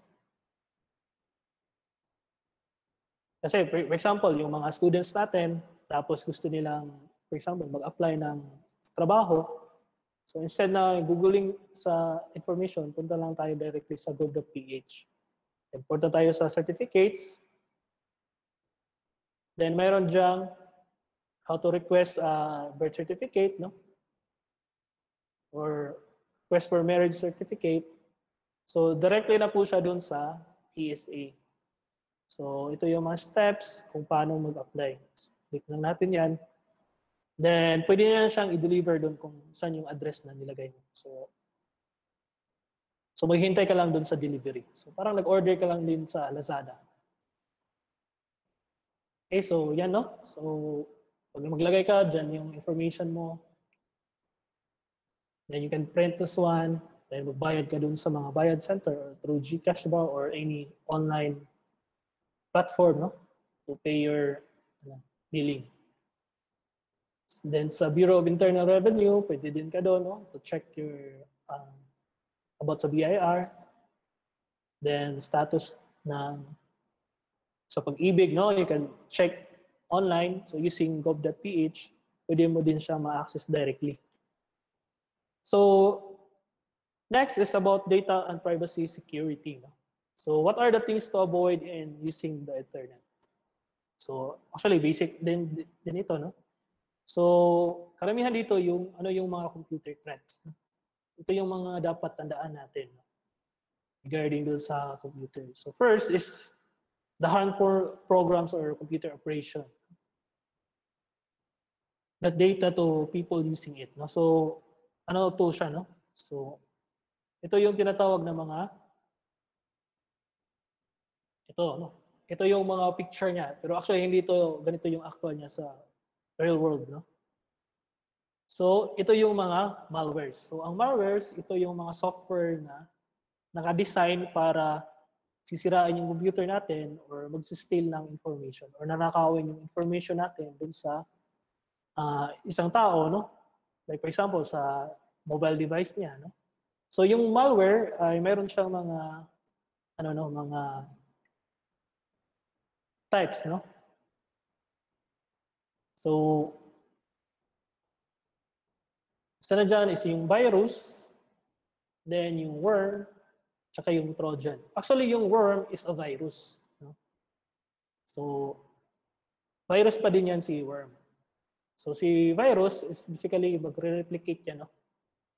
So, si worm, ang problema dyan is pwede siyang mag-replicate without without yung ano yun, yung host niya or yung nagko-control niya. Pero si virus, pwede siyang kontrolin. No? Si worm, nagre-replicate niya no? kahit walang wala yung hacker dun sa kanya. No? So karamihan, kung magda-download tayo ng file sa internet, mayroon siyang nakalagay na virus. No? So dapat yung computer natin is mayroon talagang antivirus. No? So para ma-delete yung mga ano natin, mga malwares dyan. So, aside from that, mayroon din tinatawag na spyware at yung mga adwares. So, kagaya dito, for example, mag-visit kayo ng website. So, for example, yung website natin na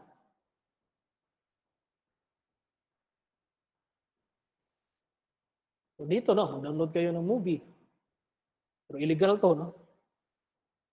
So minsan meron siyang mga adverse dito no, nagpa-pop up. Pag nag-click tayo, i-divert tayo dun sa mga website na hindi legit, no? So kung mag-search po tayo dun sa internet, actually malalaman nila po yung like ganito no, parang advert to no. If force tayo na mag-add ng ng add uh, add-ons no, extension. So mangyayari mangyayari dyan, parang still yung information doon natin kung ano yung sinesearch natin. Okay, so kung ganito, Actually, magkikita mo saan yung location at anong version ng IP ko, no? So, ilan yung resolution, CPU. So, dyan, no?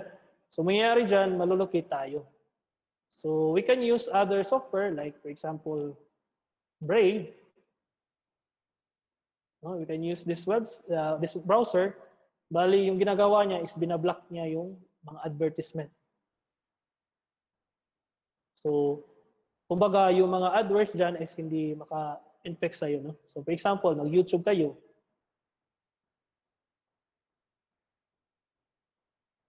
Yan yan, no? So, meron siya mga advertisement na ganito. So, pero kung gagamit kayo ng, kung i-copy natin to, using our Brave na browser, so brave.com, type nyo lang dyan para mag-download kayo. We can use our Brave na browser, no? Dito na area.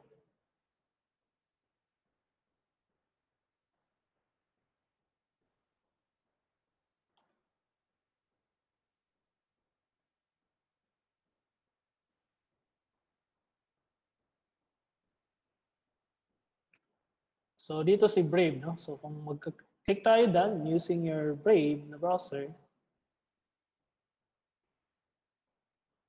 paste natin yung ano dyan, yung YouTube natin.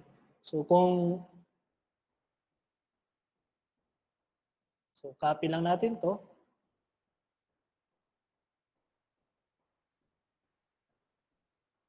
Then paste, no? So as you can see, wala siyang advertisement, no? Kasi binablock niya dito. So makikita natin, mayroon pong nagtatrack sa atin, kung nagpi-play tayo ng YouTube na to, mayroon po nagtatrack dyan na 13. Uh, ito yung mga sites, no? Nagtatrack dyan kasi doon sa mga advertisement. So mas maganda, mayroon po tayong ad blockers, no? Kasi nagbablock po siya ng mga advertisement. So using your this one, this type of uh, website or uh, browser, no? Tawag natin na Brave. So itong mga advertisement na to, hindi, hindi ito siya mag-a-appear. So hindi natin ma-accidentally click yan or ma-play. So yan yung mangyayari. No? So ma-lesson natin. Kasi yung mga ads natin, kung naglo-load pa yan, it will add also sa data nyo. For example, yung 1 gig nyo, maminusan pa yan dun sa mga advertisement na ga-appear dun sa website na binabrowse nyo. So, kung mayroon kayong ad blocker, so mangyayari, so ang mangyayari dyan, uh, wala lang uh, extra sasakay na mga data. No?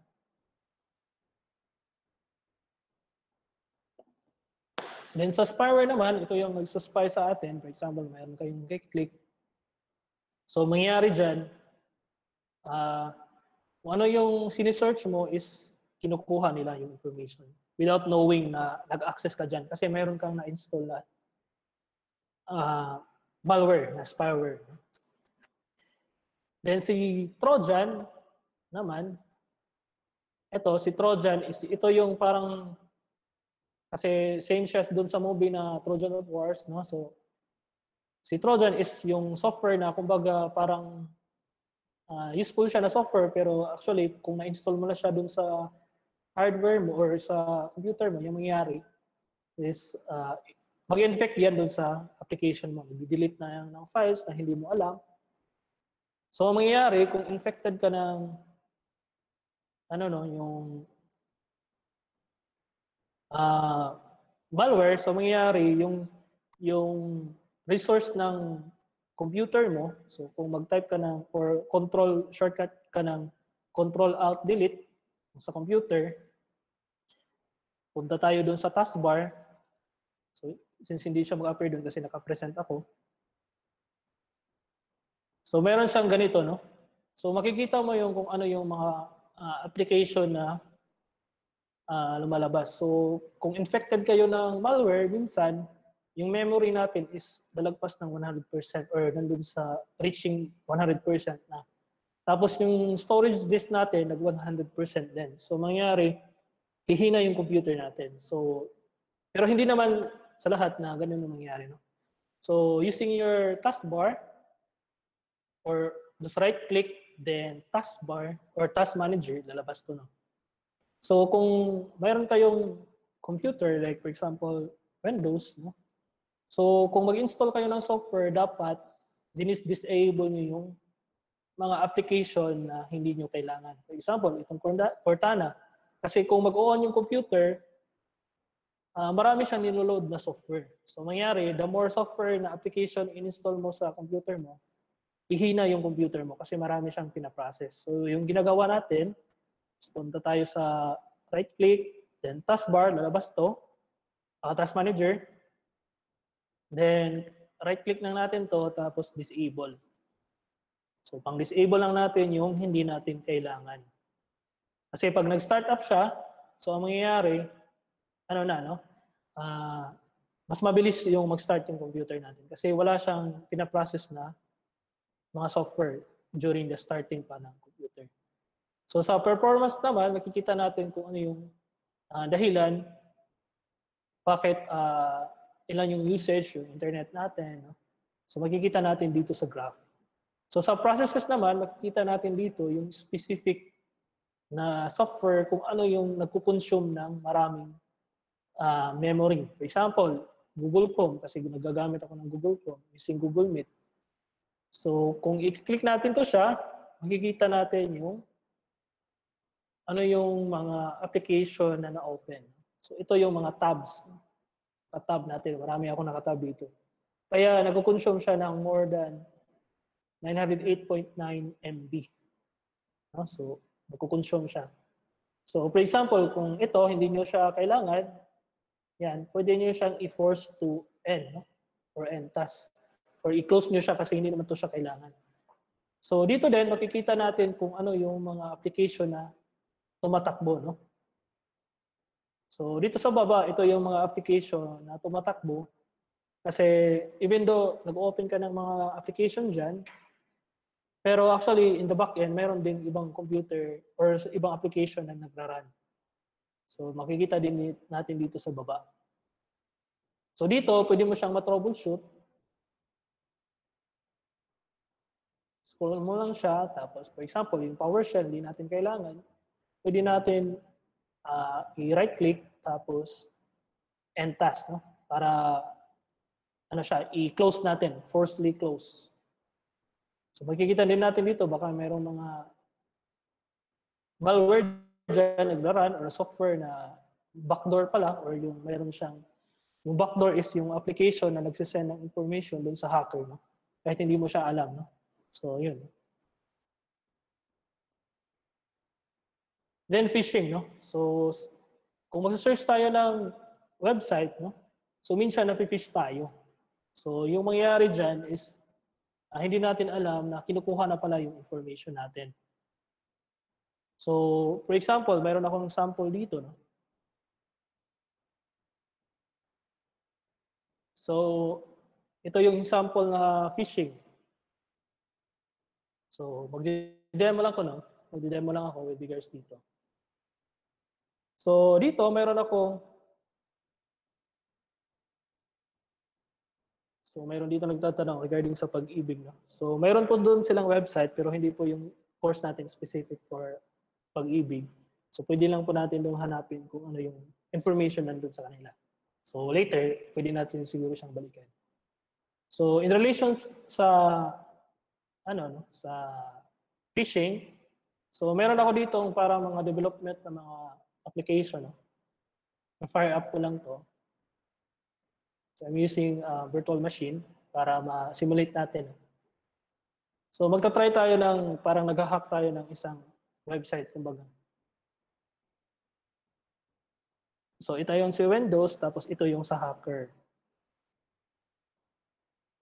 Yan, parang ganyan. No? So si hacker, nag-input siya ng ano niya, information dyan.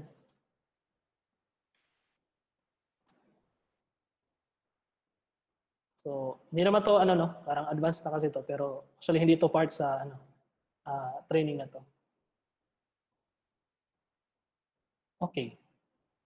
So dito sa Windows no. So Kumbaga, yung ginagawa ng hacker, for example, minsan, sa phishing kasi is, nag-i-email yan, no? So, for example, mayroon kayong na-receive na email, Ah, for example, dito, no, meron kayong email. Di ba mayroong mga scammers na nag-email sa inyo? So, ang problema dyan, sinasabi niya na, for example, mayroong email, sinasabi na, click this link.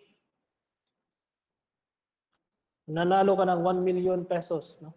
So, yung ginagawa nila, hina-highlight nila dyan, tapos nilalagyan nila ng link. Pupunta lang pala to sa YouTube pala.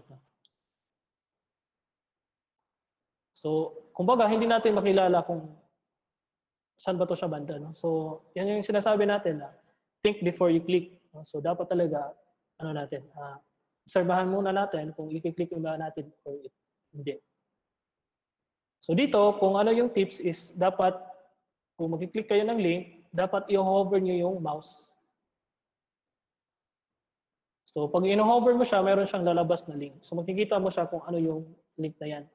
So instead na clicking directly, makikita mo, eh, hindi, hindi pala to legit na website. Phishing pala to, no? So, ganun siya, no? So dito, for example, um, uh, quick lang to, no?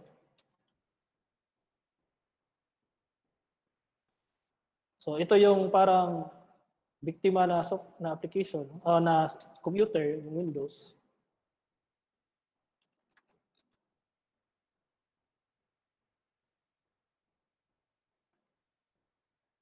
So ito yung IP niya. So for example, yung hacker is man in the middle. No? Nandun lang pala dun sa uh, ano nyo, uh, sa organization nyo. So dito siya,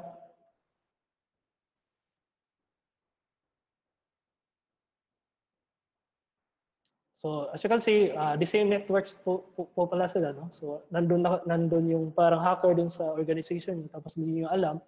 Mayroon palang computer doon na pwede siyang makalagin, no? tapos wala pala yung uh, wala pala yung hindi nakalock yung room, no? Pwede siyang papasukin. So dito we are using uh, social quiz, no? So gagawa tayo ng kumbaga website tapos ipapara natin. So ito yung command, uh, hindi ko na ito specify no? kung paano siya gawin. So mag-open lang ako ng browser dyan. Tapos, i-demo ko lang kung ano yung parang phishing. No?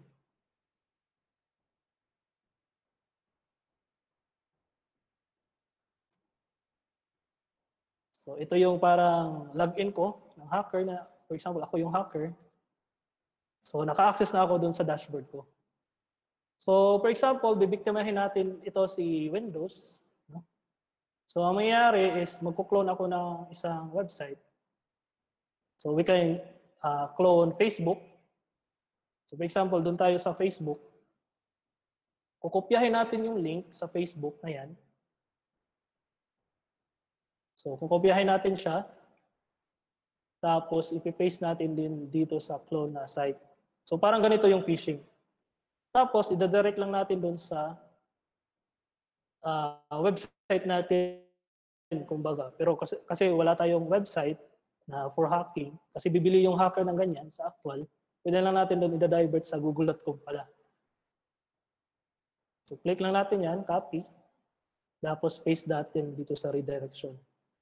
So kung mag-start up na tayo, fire up na natin, success yun, So, pwede tayong mag-email directly doon sa, ano, yung sa,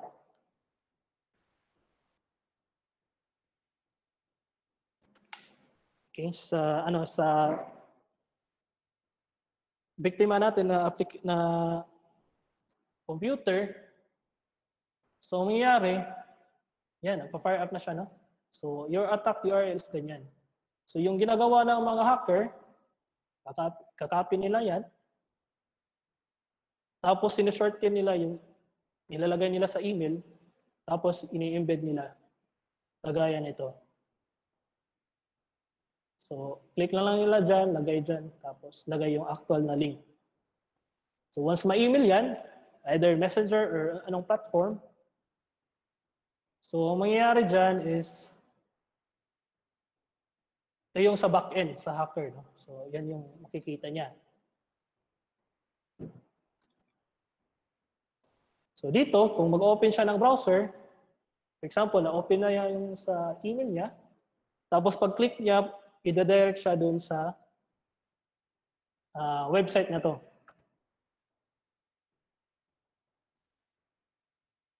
So kung titingnan natin dito sa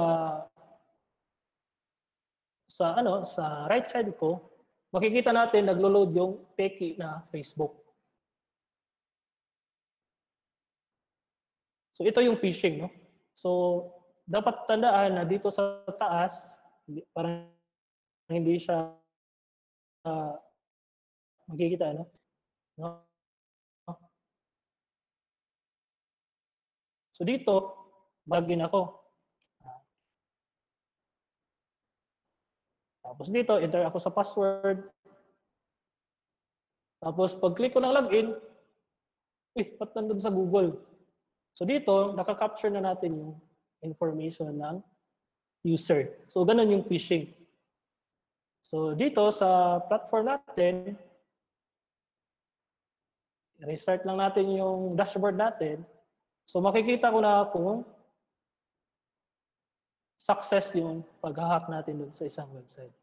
So makikita ko dito yung email niya, tapos yung password niya. So kumbaga ganun yung ah, phishing. No? So ganun yung simple way of phishing. So dito, ah, makikita natin kung ano yung pinaklik niya real time. No? So ganun, ganun yung sample ng ah, paggawa ng phishing. So, in just a click lang, pwede mo na siyang makukuha yung information. Parang nag-submit ka lang ng Google Forms. So, ganun. Okay, so let's proceed sa ano.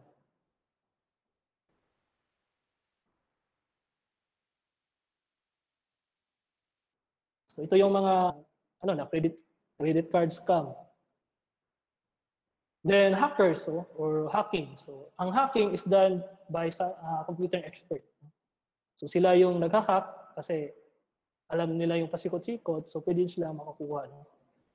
So yung hacking, mayroon silang category. Yung white hack is ah, nasa government, so sila yung nag-protect sa ah, sovereignty ng ah, Pilipinas, kumbaga ganyan. So, so nag-hack sa mga international. So dito, ah, for example, dito sa Ito yung example. So ito yung parang scenario ng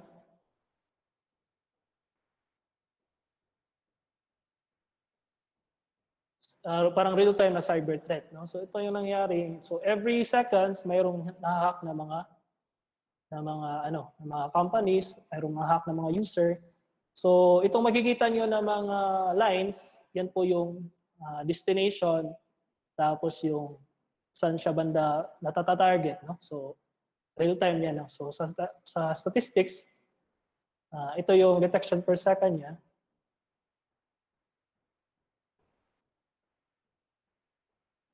So, nandun sa cyber map. So, we will share the link na lang kung saan banda. So, ito yung mga detection. No? So, every second meron talaga na-detect. So, dito sa maps, pwede natin siyang i-flatten. So sa Casper dito, no? Ito yung scenario, no? So lahat ng parang ah, violet or red violet, ah, yan po yung mga intrusion detection. So pwede natin siyang i-disable. So meaning yung mga companies dyan is mayroon po to silang intrusion detection. So nag-detect po yan kung mayroon bang nag-attack doon sa kanila. No? So, ang Russia is the first most attacked country. So, sinasabi dito. So, ganyan po yan. So, every second, meron pong ma-hack. So, kagaya dito, na-hack po yan. So, di ko na lang siya ipi-play.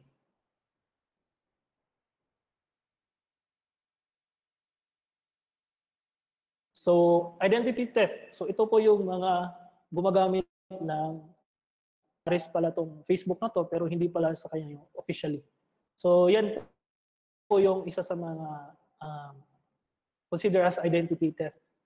So like for example, uh, ito isang teacher no, nag-post kasi siya ng PRC niya sa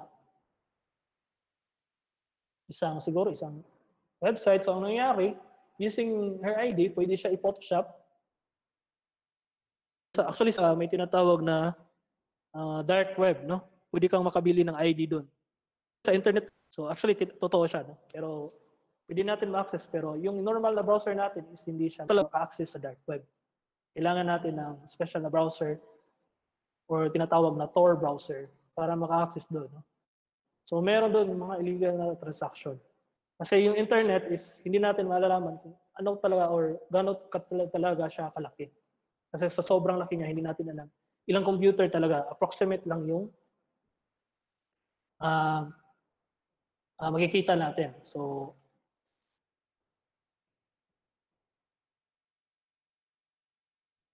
so like dito sa internet stats, so imagine ito yung number of users, no? real time. No?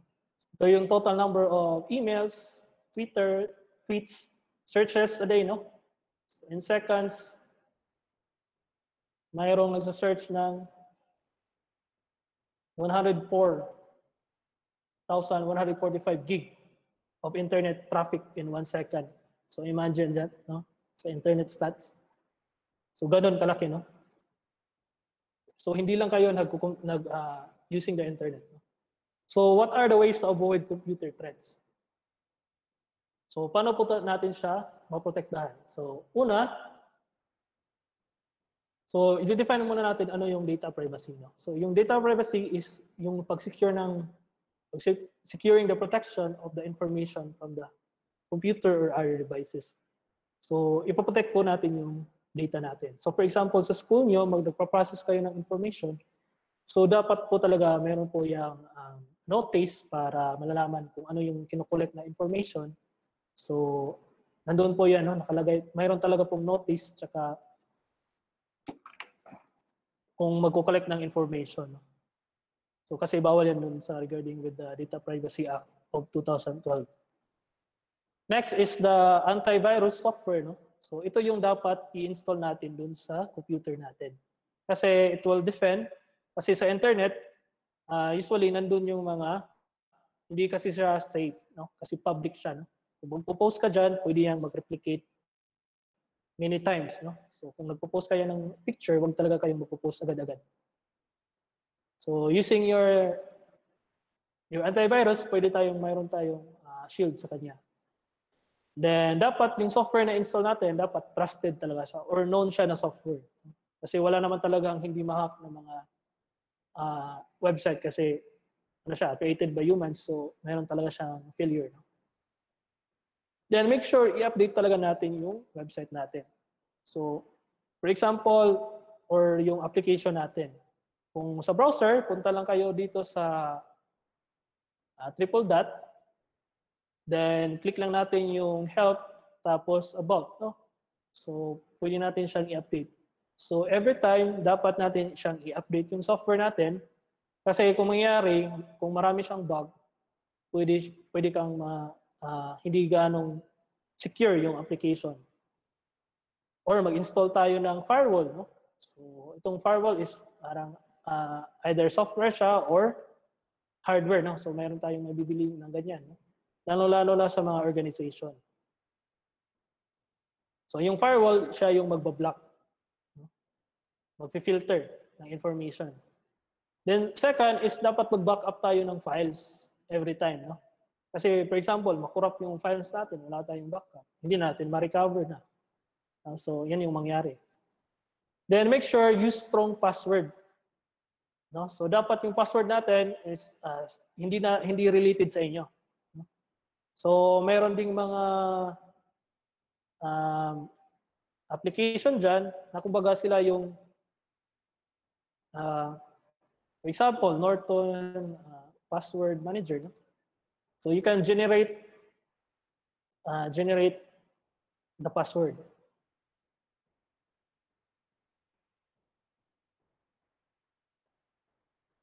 So you can use that, no? So, so pwede, marami ng ganito. Kahit girlfriend mo pa yan, kahit kakilala mo pa yan, so huwag mo talagang i ibigay nang walang ano no, walang uh, pahintulot. So, ito yung mga dos or dapat gawin kung magkakait tayo ng mga password. So, dapat easy to remember, like ito, Wi-Fi for the people. So, dapat hindi talaga related sa inyo. No? So, pretty kakapoy oy, cookies and cream. No? So, pwede siyang mababasa. Then, wag yung password na the same dun sa birthday nyo kasi kung mag, yung hacker kasi is advanced yan na mag-isip. So, kung titingnan mo yung website, uh, Facebook mo, ah, ganito pala yung, uh, ito pala yung birthday niya. So, mostly, karamihan, yung password is birthday, uh, pangalan ng girlfriend, pangalan ng boyfriend, uh, birthday ng anak. So, ganun. No? So, pwedeng, pwedeng ma-guess siya. So, ito yung hindi dapat na mga gawin, no? Like for example, birthday, name of the project, then ano yung password, ABC123. So hindi po yan. So like ganito, no? Ito yung babae na na biktima din. So hindi ko na lang siya ipi-play. So mayroon din tayong loose and sanction, no? So ito yung mga batas. So ito yung mga punishable na mga batas, no? uh, ng mga acts, no? like child pornography, uh, perjury, identity theft, and marami pang iba. So cover po yan ng Data Privacy Act of 2012. So ang namumuno po dito ay yung National Privacy Commission. Uh, since, since may video dyan, isa-share ko na lang tong uh, presentation na to. So hindi ko na lang siya ipiplay. So yung National Privacy Act, sila po yung, tulog, uh, yung National Privacy Commission or uh, attached agency po to ng DICT. So sila po yung uh, magpo-protect or tutulong po sa atin. For example, mayroong data breach, sila po yung tutulong sa atin kung ano yung dapat gawin. Then another is the Cyber Crime Prevention Act of 2012 or the RA 10175, no? So ito yung uh, batas na kung saan uh, mag-imbestiga at mag-prevent or mag-provide ng mga penalties, no? Like for example, mayroong nag-hack. So ito yung mga punishable act no with regards sa Cybercrime Prevention Act. So, for example, nagpo-post kayo ng social media tapos hindi pala totoo, uh, pwede kayong malibel dyan no, using the cybercrime. Kasi yung sa, sa internet kasi, for example, mayroon kayong website dyan, pwede siyang i-retrieve. No? So mayroon tinatawag dyan na internet, tinatawag na internet archives. So dito, kahit uh, ah, 20 years ago, pwede siyang ma-backtrack. For example, yung Facebook. So, yung Internet Archives. So, pwede mo siyang babalik ka sa Facebook kung anong look niya way back 2004 ba, no?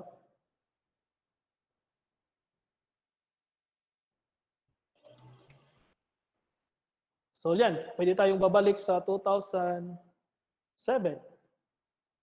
So anong look ng Facebook? So mayroon po siyang capture na look ng website nyo. So kung nagpo-post kayong publicly, tapos mayroon diyang information, baka na-capture yan. So ito yung sample ng Facebook noon. Pwede kang makakita ng information dyan through Wayback Machine. No? So careful po talaga tayo sa mga pinupost natin publicly. Kung private lang yan, make sure secure yung pag-send nyo ng message or intended user lang. So ito yung mga news no, regarding yan. So for example, na-hack yung email nyo. So mangyayari dyan, uh, meron silang tinatawag dito na phone. Kung i-check yung na hack ba yung email mo. For example, yung email ko to, no? So check ko kung na-phone ba to or na-hack. So sinabi dito, may dalawa daw breaches na website. So you can check kung na-hack ba yung website or yung email nyo. So, yung ginagawa natin, kung mahack natin yung, mahack yung isang, for example, kasi yung nahack dito is yung itong website na to. Kasi I'm using that email. So, nahack kasi to siya. So, nangyari, uh, isa sa mga data breaches yung ganito ko. So, yung gagawin nyo, pag mayroon kayong news, kasi na-notify naman ako dito sa Playpick, change yung password natin agad-agad. No? So, hindi natin mabalik yung nahack na mga information. So, yung gagawin na natin para maprotektahan in the future, change your password immediately. No? So, wala nyo talagang basta ganun na lang tapos hindi nyo gagawin na i-change. So, you can check using I have been phone. Search nyo lang sa Google. You can check your email kung nahack ba or hindi. Like for example, ito na email ko.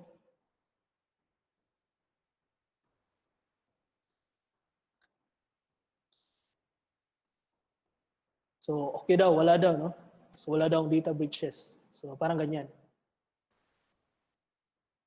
So, marami pa dito, no? So, enter, internet etiquettes or ano yung, or meaning niya, or in short, is etiquettes. No? So, ito po yung dapat tandaan natin kung mag-internet po tayo, no? Using internet. So, choose strong password. Be selective yung adding so, anong talaga yung i-accept nyo. No?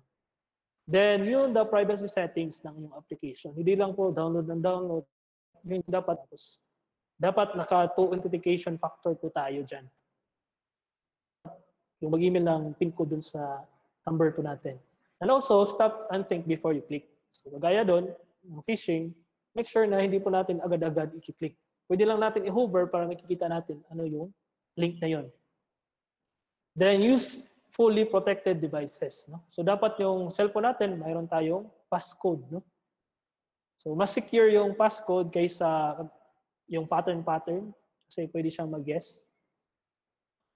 Then don't publish personal information. So verify your application before installing and don't upload inappropriate photos. Also avoid using inappropriate language kasi yan po yung dahilan bakit mayroon tayong kaaway dun sa social media. Okay? And also, uh, hindi natin na-topic yung iba, no? but again, uh, if mayroon kayong question, ito, uh, pwede niyo siyang i-chat sa baba or um, send na lang via email dun sa amin. So this day, wala po tayong parang measure na isasabit na requirements. So bukas, we will topic about Microsoft Office, no? About productivity tools using Word. So again, um, yun yung about sa Internet Essential. So, additional lang. So, for example, maghahanap kayo ng trabaho online, uh, you can use other website. Like, for example, you can use LinkedIn no?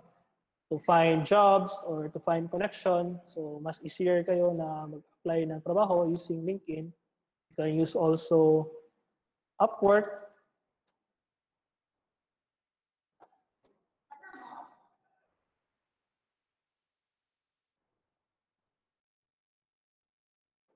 So ito yung Upwork, you can uh, find jobs also no? kung saan kung saan kayo nabilong, like for example, creative, writing, sales marketing, and so on. So you can sign up this one, no? So you can look for jobs kasi yung uh, rate dito is dollars. So it's based on your talent. No? So you can use kung ano yung gusto mong oras kasi ikaw yung boss dito. So you can use LinkedIn or Upwork. No? Actually, actually marami pang iba no, ng mga website.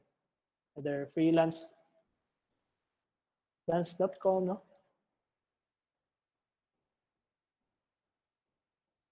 Freelancer, no? Freelancer.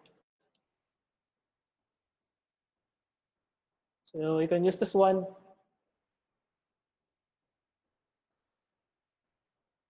So marami pang iba dyan. No? So ito lang yung mga examples na ibibigay namin. So you can connect me in LinkedIn. No? So mayroon pa din akong LinkedIn. So you can connect me in LinkedIn na lang if mayroon kayong mga katanungan. No? At marami pa yung iba. So So, itong mga link na to is bibigay namin doon sa Google Drive na ah, dito, no? So, ilalagay namin dito yung link sa mga additional resources link. Diyan. So again, uh, yun lang. Thank you so much for the first day. So if mayroon po kayong question, at I'm happy to entertain for your question. So, Sir Joss, makisuyo, pa-resend na lang ng link ng assessment. So, yung assessment, check ko lang yung assessment ha.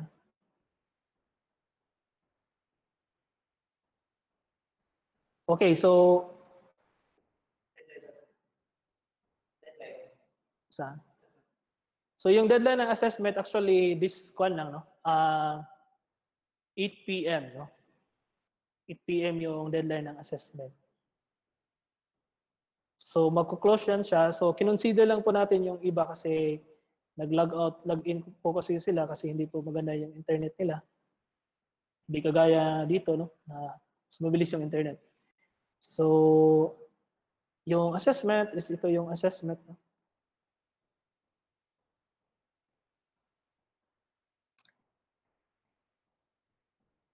So, yung evaluation and quiz na lang is, uh, mino-verify po namin kasi uh, by last day na lang po siya. No? So, isa, isahin lang po natin yung um, assessment po natin. So, yun. So, what antivirus and malware software do you recommend? Okay, so, ano po yung mga antivirus? No, so, actually, yung ginagamit namin dito sa DICT, meron po ta kaming parang Kaspersky, no? So, meron ding ibang antivirus like Sophos. You can use the Sophos. Or, para sa akin, pwede na yung Libre, no? So, actually, yung uh, Windows 10 natin, kung pupunta tayo sa Windows Start, tapos Settings, so, under po dyan, mayroon po tayong sa Update and Security, mayroon po tayong tinatawag na Windows Defender. So built-in na po yan. No? So mas uh, actually kung marami kang in-install kasi ng mga antivirus, mangyayari dyan is isa lang talaga magra-run dyan. Kasi karamihan mayroon ding mag-false positive na mga detection tapos hindi pala siya ano na software no uh, harmful. So para sa akin uh, okay lang tong uh, Windows Defender. Built-in na po yan doon sa Windows. So you can um, turn on, no? So marami po dyan, no? Especially kung ano po yun. Uh, mayroon po diyang settings na uh, check niyo kung mayroon bang detection, no?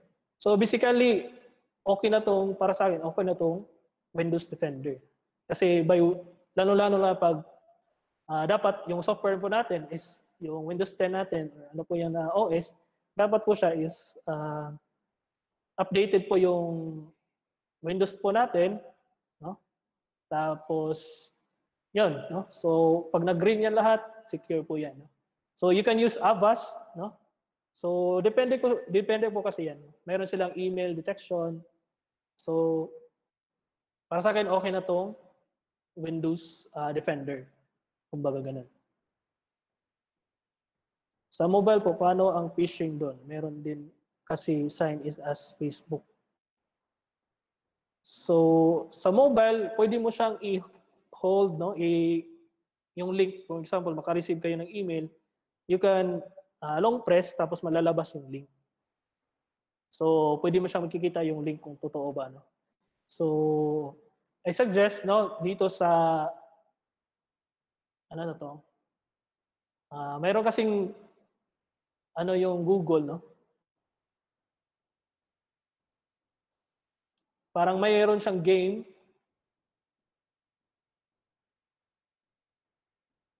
Uh, mayroon kasing jigsaw yung ano no, yung Google. So you can uh, take this one no.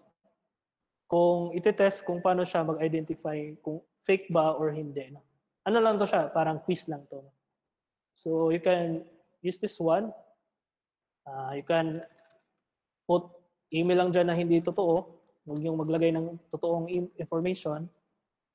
So like for example dito, ganito yung phishing, no? So yung gagawin nyo lang is i uh, hover nyo lang dun sa baba, mayroon siyang link dito sa baba. I-hover nyo lang kung totoo ba to na website. So ito is a uh, fake to siya na website. Kasi dun sa baba, http slash slash drive-google.com tapos may slash siya look.johnson. Yung look.johnson is ano siya no? Uh, website. So magda-divert yan sa website. So phishing to siya no. So you can use the uh, phishing quiz.google no para ma ano kayo parang ma-educate regarding with the phishing. Sir, if there is a breach site, what should I do about my email? So, kung mayroong breach sa isang website, uh, for example, dito sa atin, no? So pwede nyo man siyang i-reklamo regarding dyan. So, mayroon namang National Privacy Commission or i-report mo dun sa cybercrime, no? so or sa kapulisan, for example, affected nyo kasi naka-receive kayo ng mga email, pwede nyo siyang i-report doon sa mga pulis no? para ma-actionan agad. Tapos yung National Privacy Commission, sila yung magagabay sa inyo kung paano protektahan yung information na nawala sa inyo. Especially yung may-ari na dyan is nandito sa Pilipinas. So dapat din as a user, dapat yung gagawin nyo is eh, yung, pas, yung email nyo, account nyo, mag-change password kayo agad. So also ngayon yung uh, kung mag kung for example uh, uh, mag-login tayo dito no So, ito yung mga productivity tools na ginagamit namin sa office. No? So, minsan, kung maglalogin tayo ng ganito, no? Uh, uso nito yung ganito, ganito no? login with SSO or single sign-in. So, usually, okay lang din to, pero mayroon ding disadvantage to. No?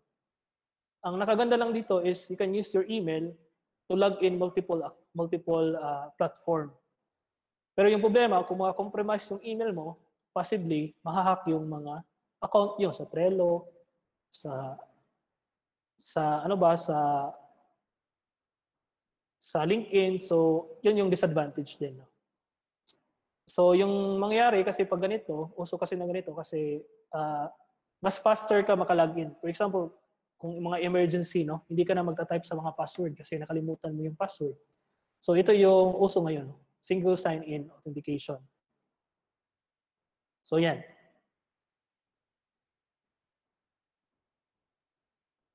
So I think yun lang no. So kung may question kayo, you can email my official email .gov.ph with regards sa phishing na ganun. So I guess uh, yun lang. So if wala kayong mga question pa,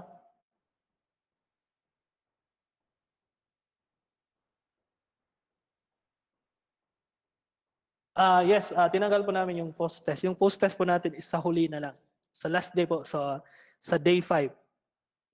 So sa day 5 na po tayo mayroong post test. No? So uh, this day wala po tayong uh, isasabit. Yung yung pre-assessment lang po yung kailangan namin. Okay? So yun lang po. So marami pong salamat. Then tomorrow uh, dapat early po tayo, no? So para ano, uh, mas mabilis po tayo mag-start. Okay? So kung wala na kayong questions, thank you so much. And good luck po sa lahat. Uh, you can now uh, log out. So yung recorded po na video, ipopost po namin doon sa Facebook po namin. Okay? So thank you so much po.